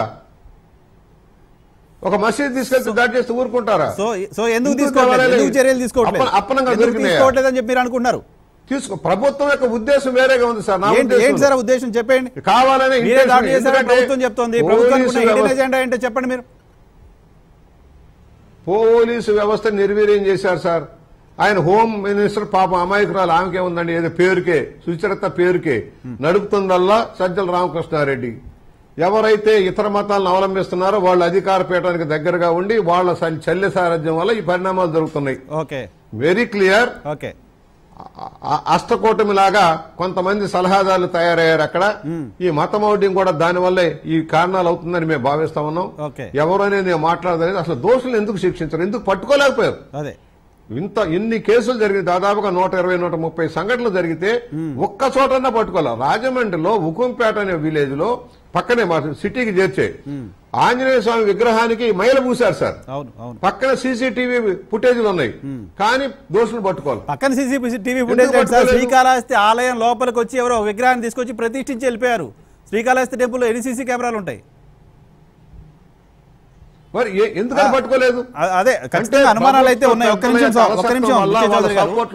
బుచ్చే చౌదరి గారు ఒక్క నిమిషం. సాధు పరిషత్ నుంచి శ్రీనివాసానంద సరస్వతి గారు మనతో పాటు జాయిన్ అవుతున్నారు. Swamiji good evening. Good evening అండి స్వామి. స్వామి ఏంటి రాజమండ్రి ఘటన రామతీర్థం ఘటన మీరు కూడా వెళ్ళి వచ్చినట్టున్నారు? దీని వెనక ఎవరు ఉన్నారు? రాజకీయ పార్టీ ఉందనేది ప్రభుత్వం చెప్తున్న మాట. హిందూ దేవాలయాల రక్షణ కోసం హిందువులు ఏం చేయాల్సిన అవసరం కనిపిస్తోంది? నాకు ఇక్కడ ఉన్న అబ్జెక్షన్ ఏంటంటే ఈ రాష్ట్రంలో తెలుగు రాష్ట్రాల్లో చాలామంది మఠాధిపతులు చాలామంది పీఠాధిపతులు చాలా పాపులర్ స్వామీజీలు ఉన్నారు. వాళ్ళ అందరి గొంతులు ఎందుకు పెగలట్లేదు? వాళ్ళు ఎందుకు మాట్లాడట్లేదు? హిందువులుగా ఉన్న సాధారణ హిందువులంతా వెళ్ళి అయ్యో దేవుడి విగ్రహాన్ని ధ్వంసం చేశారు దేవుడి చేతులు నరికేశారు దేవుడి మెడ నరికేశారు. ఇంత హృదయ విదారకమైన దృశ్యాలని ఆ- ఆ విజువల్ చూస్తేనే చాలా దారుణంగా ఉంది. హిందువులంతా కూడా ఖచ్చితంగా ఆవేదన చెందుతున్న దృశ్యాలు. మీ పీఠాధిపతులు మఠాధిపతులు ఎందుకు స్పందించలేకపోతున్నారు? ఎందుకు వాళ్ళకి కనిపించట్లేదు అవి? మీలాంటి వాళ్ళు ఒకరిద్దరు మాట్లాడుతున్నారు. స్పష్టంగా మనకి స్వామి చాలా హిందువుల గుండెలన్నీ కూడా రగిలిపోతున్నా ఈరోజు పీఠాధిపతులు ఏదైతే అనుకుంటున్నారో అది సమాజానికి తెలుసండి. ఈ పీఠాది పీఠాలు దేనికున్నాయో ఈ పీఠాధిపతులు చేస్తున్న కార్యక్రమాలు ఏమిటనేది పక్కన పెడితే స్వామి గారు ఈ స్పష్టంగా అక్కడ మన వేదికలో ఏదైతే మన పాల్గొన్నటువంటి పెద్దలందరికీ మేము స్పష్టంగా చెప్పేది మన ఏబిఎన్ ద్వారా. మొన్న ముఖ్యమంత్రి గారు విజయనగరం వచ్చారండి. రామతీర్థాల్లో రామచంద్రమూర్తికి శిరస్సు ఖండిస్తే మొత్తం ఉత్తరాంధ్ర ప్రాంతం అంతా కూడా కన్నీరు పెట్టి ప్రతి ఒక్కరు కూడా గుండెలు బాదుకొని ఏడిస్తే అయ్యో మేము పూజించిన రామచంద్రుడు ఇటువంటి దుస్థితి మా దేవుడికి వచ్చిందా? ఓ మర్యాద పురుషోత్తమ రాముడు ఈ దేశానికి ధర్మాన్ని ఒక న్యాయాన్ని ఈ దేశానికి ఒక దిశానిర్దేశం చేసినటువంటి మహానుభావుడు రామరాజ్యం రామరాజ్యం అంటాము. అటువంటి రాముడికి కష్టం వచ్చిందని కన్నీరు పెట్టి ఏడిస్తే విజయనగరం సభలో పాల్గొన్నటువంటి ముఖ్యమంత్రి ఈ సంఘటన పైన నేను విచారిస్తున్నాను బాధపడుతున్నానని ఆయన గాని విజయనగరం జిల్లా ఇన్ఛార్జ్ మంత్రిగా ఉండేటటువంటి దేవాదాయ ధర్మాదాయ శాఖ మంత్రి వెల్లంపల్లి శ్రీనివాస్ గాని లేదు విజయనగరంలో ఉండేటువంటి మంత్రి వర్యులు బొత్స సత్యనారాయణ గాని ఆ విజయనగరంలో ఉండేటువంటి ప్రజా ప్రతినిధులు గాని స్థానిక ఎమ్మెల్యే ఉన్నటువంటి బండుకొండ అప్పలనాయుడు గాని ఒక్కరు కూడా ఒక స్టేట్మెంట్ ఇవ్వలేదండి. ఇద్దరు మాట్లాడారు. గారు విజయసాయి రెడ్డి గారు ఇద్దరు మాట్లాడారు. ఏమిటండి విజయసాయి రెడ్డి మాట్లాడతాను బుర్రా బుద్ధి ఉందండి ఆయనకి? ఏమనుకుంటున్నాడు విజయసాయి రెడ్డి? ప్రజలు హిందువులు ఓట్లు వేస్తేనే విజయసాయి రెడ్డి. అది మర్చిపోయి మాట్లాడుతున్నాడు. పునాది పునాది విడిచి మాట్లాడుతున్నాడండి ఆయన. రాజకీయం చేస్తాడంటే ఆయన. ఇంతమంది మేము స్వామీజీలు హిందూ బంధువులు బాధపడుతుంటే రాజకీయ రాజకీయం చేస్తాడండి ఆయన విజయసాయి రెడ్డి గారు. ఎంత మాట అండి అది? ప్ర- ప్రతిపక్షాలు చేస్తున్నాయా? కుట్రలు చేస్తున్నాయా? ప్రతిపక్షాలు చేస్తే నిరూపించాలి కదండి. ఇవ్వండి ప్రతిపక్షాలు పలానా ఎమ్మెల్యే చేశాడు. పలానా ప్రజాప్రతినిధి చేశాడు. ఏం నిరూపించలేకపోతున్నారండి నాటకాలు ఆడుతున్నారు స్వామి. హిందూ సమాజంతో వీళ్ళందరూ నాటకాలు ఆడుతున్నారు. ఇదే విజయసాయి రెడ్డి విశాఖపట్నంలో వెంకోజీపాలెంలో ఉండే ఆశ్రమాన్ని ఖాళీ చేసి పొమ్మం లేదా స్వామి భయపడిపోయి గుంటూరు వెళ్ళిపోలేదా? ఆ స్థానికంగా ఉండేటువంటి స్వామీజీతో చంపేస్తారు. నువ్వు ఖాళీ చేసి వెళ్ళిపో. నీకు ఎక్కడో ప్లేస్ చూపెడతామని వర్తమానాలు పంపించలేదండి కాబట్టి స్వామి గారు చాలా బాధాకరం అండి. ఇప్పటికే చాలా దురాఘాతాలు జరుగుతున్నా ఇప్పుడు ప్రభుత్వం కేవలంగా మేము ఖచ్చితంగా మేము అనుమానిస్తున్నాం. ఈ ప్రభుత్వం తాలూకా అండదండలతోనే ఇవన్నీ జరుగుతున్నాయని. ఒక సగటు ఈ రాష్ట్రంలో ఉండేవాడు ఒక సగటు ఒక వ్యక్తి భావిస్తున్నాడు. ప్రతి ఒక్కరు కూడా ఈ రోజు క్రైస్తవాన్ని ప్రోత్సహిస్తున్నారు క్రైస్తవ చర్చిల నిర్మాణానికి టెండర్లు పిలుస్తున్నారు. భారతదేశ చరిత్రలో ఇంతవరకు ఎక్కడైనా ఒక ప్రభుత్వం చర్చిల నిర్మాణానికి టెండర్ పిలిచిందండి? చర్చిలు కట్టడానికి డబ్బులు ఎక్కడైనా ఇచ్చిందండి? ఈ రోజు మా దేవాలయాలు కూలిపోయి మేము కన్నీరు పెట్టుకొని ఏడుస్తూ ఉంటే మా విగ్రహాలు నాశనం అయిపోయి చిత్రం అయిపోతూ ఉంటే ఈ ప్రభుత్వం ఒక్క రూపాయి ఇచ్చిందండి. ఒక దేవాలయ నిర్మాణానికి కానీ ఒక విగ్రహానికి బాగు చేసుకోమని కానీ లేకపోతే ఒక అరిష్ట నివారణ కార్యక్రమాలకు చేయడానికి ఒక వేద పండితులకు కానీ ఎక్కడైనా ఒక కార్యక్రమం పెట్టిందండి. కాబట్టి ఎక్కడికో వెళ్ళిపోయి మళ్ళీ ముఖ్యమంత్రి గారు ఏమో అక్కడికి వెళ్ళి మాట్లాడతారా? తప్పు అయిపోయింది కఠినంగా దోషులు శిక్షణ తండని ఏమండి ముఖ్యమంత్రి గారు అక్కడ మీకు గుర్తొచ్చిందా? అమరావతి వెళ్ళి రామతీర్థం ఇష్యూ. రామతీర్థంలో ఉండేటప్పుడు మీకు జ్ఞాపకం లేదా? మీ మంత్రులకి జ్ఞాపకం లేదా? మీ తాలూకా ప్రజాప్రతినిధులు ఎమ్మెల్యేలకి జ్ఞాపకం లేదండి. ఎంతకాలం హిందూ సమాజాన్ని మీరు మోసం చేస్తారు? ఎంతకాలం హిందువులతో మీరు ఆట్లాడుకుంటారు రానున్న రోజుల్లో గట్టి గుణపాఠం చెప్తాను స్వామి గారు. హిందూ హిందూ శక్తి ఏమిటో హిందువుల తరగ తడాక ఏమిటో రానున్న రోజుల్లో ఖచ్చితంగా ఈ ప్రభుత్వాన్ని చవి చూసాల్సి ఉంటుంది. ఇప్పటికైనా మేము చెప్తూ ఉన్నాం మీ తప్పులు సరిదిద్దుకొని దోషులను కఠినంగా శిక్షించమంటే ఇప్పుడు రామతీర్థాల కూడా ఒక నాటకాన్ని తెరదీశారండి అక్కడ తెరదీసి ఎవరో అక్కడ ఉండేటువంటి గైడులు పట్టుకున్నారండి. రామతీర్థాలకు వస్తున్నటువంటి ఎవరైనా భక్తులకి ఆ కొండ మీద స్వామివారి తలక అమ్మవారు పురుటి మంచమని రాముడు పడుకున్నటువంటి స్థలమని ఈ విధంగా అక్కడ ఉన్న చారిత్రాత్మక ప్రాంతాలు చూసే గైడులు పట్టుకొని ఈ రోజు హిందూ సమాజాన్ని మోసం చేస్తున్నారండి. మళ్ళీ ఏమంటున్నారంటే రామతీర్థంలో ఉండేటటువంటి రాముడు ఒరిజినల్ రాముడు కాదు గుడిలో రాముడు కాదు కొండ మీద ఉండే రాముడు విగ్రహాన్ని పగలగొట్టారు అని. అంటే గుడిలో ఒక రాముడు ఉంటాడా? కొండ మీద వేరే రాముడు ఉంటాడండి? ఒక పోలీసులతో స్టేట్మెంట్ ఇప్పిస్తున్నారండి. ఏమిటండి ఈ నాటకాలు? హిందూ సమాజాన్ని ఎంత మోసం చేస్తారా? ఏమి ద్రోహం చేశామండి వీళ్ళకి? హిందువులు ఈ ప్రభుత్వానికి? ఈ ప్రభుత్వానికి అఖండమైన మెజారిటీ ఇచ్చి గెలిపించడమే తప్ప హిందువులందరూ కూడా బాసడగా నిలబడమే తప్ప రేపు మంత్రులందరూ దేవాలయాల చుట్టూ తిరిగేసి ఆశ్రమాల చుట్టూ తిరిగేసి మమ్మల్ని గెలిపించండి అని రేపు ఎలా వస్తారో చూస్తామండి. తిరుగుతున్నారుగా స్వామి. తిరిగే ఆశ్రమాల చుట్టూ తిరుగుతూనే. ఉన్నారు. వెళ్ళే స్వామీజీల దగ్గరికి వెళ్తూనే ఉన్నారు. వాళ్ళు ఇచ్చే సపోర్ట్ ఇస్తూనే ఉన్నారు. సరే మీరు చెప్తున్నారు ప్రభుత్వం కూడా ఉండి ఉండొచ్చు అనే అనుమానాన్ని మీరు వ్యక్తం చేస్తున్నారు. పోలీసులు. పోలీసులు చేతులు ఎత్తేసిన పరిస్థితి కనిపిస్తోంది. ఆలయాలపైన వరుస దాడులు గట్ల చూస్తుంటే ఎవరు కాపాడాలి? దేవుణ్ణి. దిక్కెవరు దేవుడికి? ఇప్పుడు దిక్కు హిందువులే దిక్కండి. ఇక దేవాలయానికి చేత కాదండి. ఎందుకంటే ఆ దేవాలయాలు వాళ్ళు రక్షించేటటువంటి దేవాదాయ శాఖకి ఇన్ని వందల వేల కోట్ల రూపాయలు హిందువులు ఇస్తున్నారండి. హిందువులు బాగు చేయమని దేవాలయానికి దేవుడికి రక్షణ కల్పించమని ఇస్తే కనీసం కనీసం దేవాదాయ శాఖ మంత్రి దేవాదాయ శాఖ మంత్రి కనీసం ఆయన ఏమైనా బాధ్యత ఉన్నదండి? ఇంత సంఘటన జరిగితే రావాల్సిన పరిస్థితి ఆయనకి లేదండి. అదే దర్గాలకి వెళ్ళి ఓపెనింగ్ వెళ్తున్నాడు చర్చిలకి ఓపెనింగ్ వెళ్ళిపోయి దర్గాల నిర్మాణానికి నేను కట్టుబడి ఉన్నామని ప్రకటనలు ఇస్తున్నాడు ఈ దేవాదాయ శాఖ మంత్రి. మంచిదే. దర్గాల్ని చర్చిని మీరు బాగు చేయండి. మా దేవాలయ ఒక దేవాదాయ శాఖ మంత్రి కదా ఈ దేవాలకి ఇన్ని ఇబ్బందులు జరిగి రాముడికి అంత అన్యాయం జరిగితే కంఠం కోసేస్తే రాముడు ప్రాణం తీసేస్తే ఈ దిక్కుమాలిన దేవాదాయ శాఖ మంత్రి రావాల్సిన పరిస్థితి లేదండి. ఈయన ఒక దేవాదాయ శాఖ మంత్రి సిగ్గు శర్మం ఉంటే రాజీనామా చేసుకొని పక్కకు పోవాలండి. వీళ్ళకి ఏమీ లేవండి. వీళ్ళకి ఏమీ సిగ్గు ఎన్ని జరిగినా కూడా అన్ని వదిలేశారండి. వదిలేశారు కాబట్టి ఈ రోజు ఇన్ని దురాఘాతాలు జరుగుతున్నాయి. ఒక్కరి మీద కూడా కఠినమైన శిక్ష ఒక్కరిని పట్టుకునే పరిస్థితి లేదండి. కాబట్టి రానున్న రోజుల్లో మా హిందూ దేవాలయాలు మేమే కాపాడుకోవాలి తప్ప మా దేవాలయాల డబ్బులు మాత్రం వీళ్ళ పథకాలకు కావాలండి. అనేక రకాల పథకాలు మా- పథకాలకు మాత్రం పట్టుకుపోతారు దేవాదాయ శాఖలు ఉండేటువంటి డబ్బు. కానీ దేవాలయాలు మాత్రం రక్షణ ఇవ్వరండి. దేవాలయాలు చిత్రమైపోయిన గుడులు నిర్మాణం చేయరండి కాబట్టి స్పష్టంగా అక్కడ ఉండే పెద్దలకు చెప్తున్నాం అయ్యా మీరు కూడా దయచేసి ఉన్నది ఉన్నట్టుగా మాట్లాడండి. ఎందుకు మనం భయపడాలి? ఈ రోజు ప్రభుత్వం అండదండ లేకుండా ఇన్ని చర్యలు ఎలా జరుగుతాయండి? ఒకటా రెండా మూడా అండి? దాదాపుగా నూట ముప్ప- నూట ఇరవై ఐదు విగ్రహాలు చిత్రం చేసేశారు. ఇరవై రెండు దేవాలయాలుగా కోల్చి వేసేశారు. ఒక్కరిని కూడా పట్టుకోలేదంటే అర్థం ఏంటండి? ఇంకా ఏమో అనుమానాలు ఉన్నాయి ఇంకెవరో ఉన్నారు ఇప్పుడు జరిగింది ఆగిపోతుందని కూడా లేదు కదా భవిష్యత్ రేపు పొద్దున తెల్లారేసరికి ఇంకా ఏ దేవుడి విగ్రహం ఎక్కడ పడిపోతుందో తెలియని పరిస్థితి. రెండు రోజులు గడిస్తే. ఇంకెన్ని దేవాలయాలు కూలిపోతాయో తెలియని పరిస్థితి. లేదండి వాళ్ళకి వాళ్ళ హిందువుల్ని హిందువుల్ని ఇబ్బంది పెట్టి హిందూ దేవాలయాలు పూజ చేస్తే ఇతర మతాలు ఆనందపడిపోయి ఓటు బ్యాంక్ కావాలండి. వాళ్ళందరూ సాలిడ్ ఓటు బ్యాంక్ కావాలి ప్రభుత్వానికి. హిందువులేమో రేపు అవసరమైతే వీళ్ళే నాలుగు పార్టీలు అయిపోయి మా ఓటు బ్యాంక్ మాకు అలాగే వస్తుంది. హిందువులు నాలుగు పార్టీలకు వెళ్ళిపోతారు. ఏం చేయాలి? ఎలా కాపాడుకుంటారు స్వామీజీ. ఎలా కాపాడుకుంటారు? హిందువులు సంఘటితం కావాలి. ఏ రకంగా కాపాడుకోవాల్సిన అవసరం ఉంది? ఏ రకమైన సంఘటితం హిందూ సమాజం ఇప్పుడు అవ్వాల్సిన అవసరం ఉంది? రేపు మేము గ్రామ గ్రామాలు తిరుగుతామండి. ప్రతి గల్లీ ప్రతి పల్లి ప్రతి పట్టణం కూడా మొత్తం సాధు పరిషత్ మేము. మాకు ప్రభుత్వం పెర్మిషన్ ఇవ్వకపోయినా హైకోర్టు ద్వారా అయినా మేము పెర్మిషన్ తెచ్చుకొని. పాదయాత్రలు చేస్తామండి. జరుగుతున్నటువంటి కొన్ని పార్ట్ యా సత్యమూర్తి గారు సత్యమూర్తి గారు బుచ్చే చౌదరి గారు కొన్ని అనుమానాలు వ్యక్తం చేశారు. మీరు ఎందుకు ఒక రాజకీయ పార్టీ పైన ప్రభుత్వం ఎవరు చేశారో తేల్చకుండా ఒక రాజకీయ పార్టీ పైన అలిగేషన్ చేస్తుంటే మీరు ఎందుకు రెస్పాండ్ అవ్వరు? మీరు ఇంకా ఎక్కువ బాధ్యత తీసుకోవాల్సిన అవసరం ఉంది కదా. దీన్ని కేవలం ఎన్నికల కోణంలో ఓట్లు వస్తున్నాయి స్థానిక సంస్థల ఎన్నికలు వస్తున్నాయి. అప్పుడు ఓటు చేసి ప్రభుత్వానికి వ్యతిరేకంగా ఓటు చేసి నిర్ణయం తీసుకోండి. ఈ రకమైన మాటలు ఆమోదయోగ్యం కాదు అనేది కదా బుచ్చే చౌదరి గారు చెప్తున్నమాట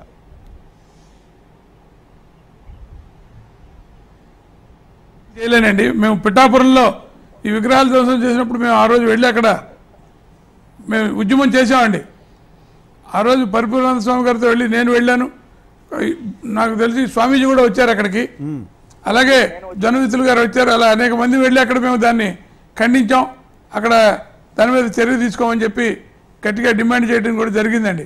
కాబట్టి మేము ఎప్పుడు కూడా ఇప్పుడు ఇందాక చెప్పారు వెల్లంపల్లి శ్రీనివాస్ గారు ఇప్పుడు ఆ బ్రాహ్మణ వీధిలో ఉన్నటువంటి ఒక రామానుజ సత్రం ఇప్పుడు ఆయన మొత్తం కోట్లు కోట్లు దోచుకుంటున్నాడండి. ఆ సత్రానికి నాలుగు టెంపుల్స్ వందల కోట్ల. రూపాయలు దోచుకోవటమే ఆయన పని.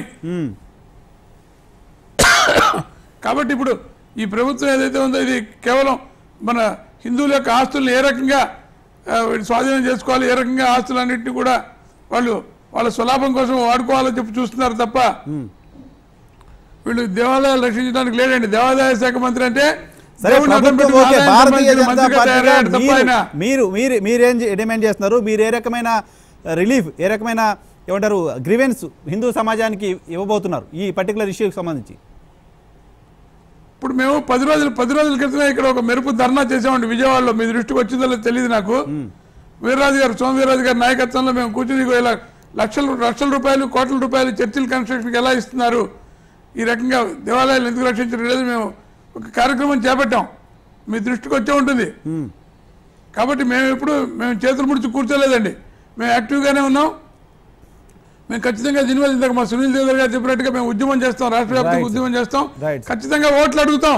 బుచ్చయ్య చౌదరి గారు ఎందుకంటే మీకు అర్థమయ్యే భాష అదొకటే కాబట్టి ఓట్లు అడుగుతాం మేము ఖచ్చితంగా. ఇప్పుడు అంతకుముందు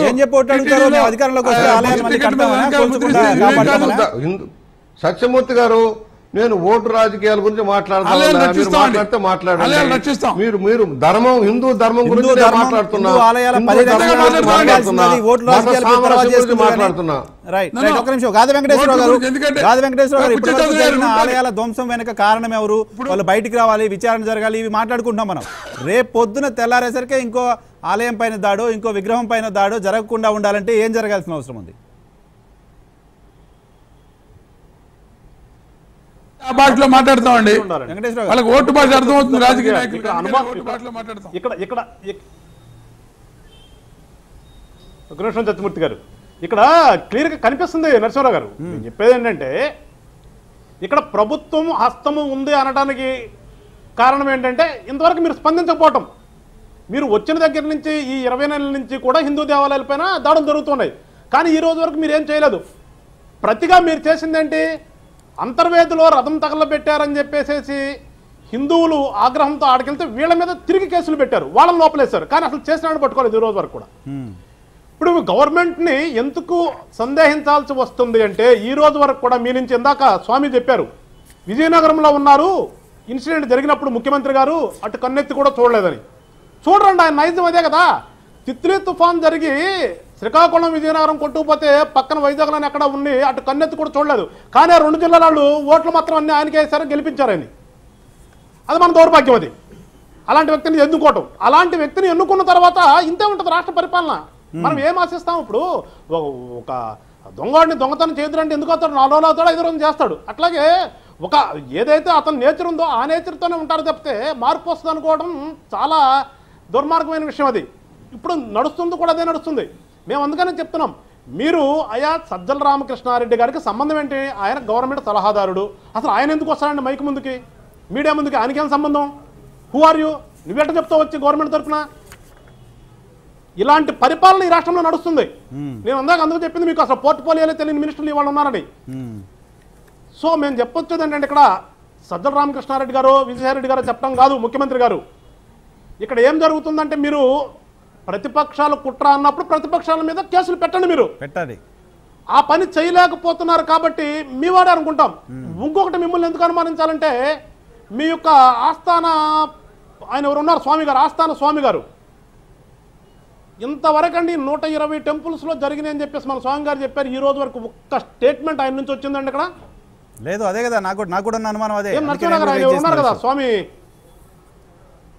ఇప్పుడు మరి ఏం ఏం ఏం చేస్తున్నారా స్వామి గారు? ఆస్థాన ఆస్థాన కవుల్లాగా ఆస్థాన గవర్నమెంట్ ఆస్థాన స్వామి కదా ఆయన.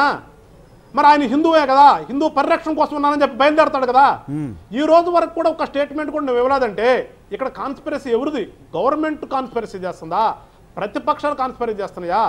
ప్రతిపక్షాల కుట్ర కనుకుంటే దాన్ని పట్టుకోలేకపోవడం అనేది మీ శాతకంతనం మీరు తక్షణమే గవర్నమెంట్ డిజాల్వ్ చేసుకోండి మీరు. రైట్ లేదు మీరే చేస్తున్నారా? అనేది ఆటోమేటిక్గా జనాలకు వస్తుంది. మేము డిమాండ్ చేస్తాం. ఖచ్చితంగా మీరే చేస్తున్నారా అని అనడానికి తార్కారణం అదే. మీ. నుంచి స్పందన లేదు కాబట్టి. ఇందాక దాకా సార్లు చాలా మంది చెప్పారు వెల్లంపల్లి సీన్ ఎందుకంటే ఆయన? దేవాదాయ సొమ్ములేమను ఇతర శాఖలకు కేటాయిస్తున్నారు. దేవాదాయ భూములన్నీ మీరు అమ్ముకోవడానికి కావాలి లేదంటే ఇళ్ళ స్థలాలు ఇచ్చుకోవడానికి కావాలి మట్టి తీసుకోవడానికి కావాలి. కానీ ఆ దేవాదాయ శాఖ మీద జరుగుతున్న దాడులకు మాత్రం మీ నుంచి ప్రతిస్పందన ఉండదు. ఇంతకంటే ఇంకా దౌర్భాగ్యం ఏముంటుంది సార్ ఈ రాష్ట్రంలో? Right sir right sir Swami దీని గురించి పెద్ద స్వామీజీ ఫైనల్గా కంక్లూడ్ చేద్దాం. ఏం చెప్తారు? స్వామీజీ శ్రీనివాసానంద స్వామి. శ్రీనివాసానంద స్వామి. యా గాది వెంకటేశ్వర గారు ప్లీజ్ క్యారియర్ ఇప్పుడు ఇంతకంటే మనం కోరుకోవడం కూడా అనవసరం నరసింహరావు గారు. మనం ఎంత కష్టం చేసినా కానీ ఎందుకంటే చూస్తున్నాం ఈ రాష్ట్రంలో రూల్ ఆఫ్ లా లేదు.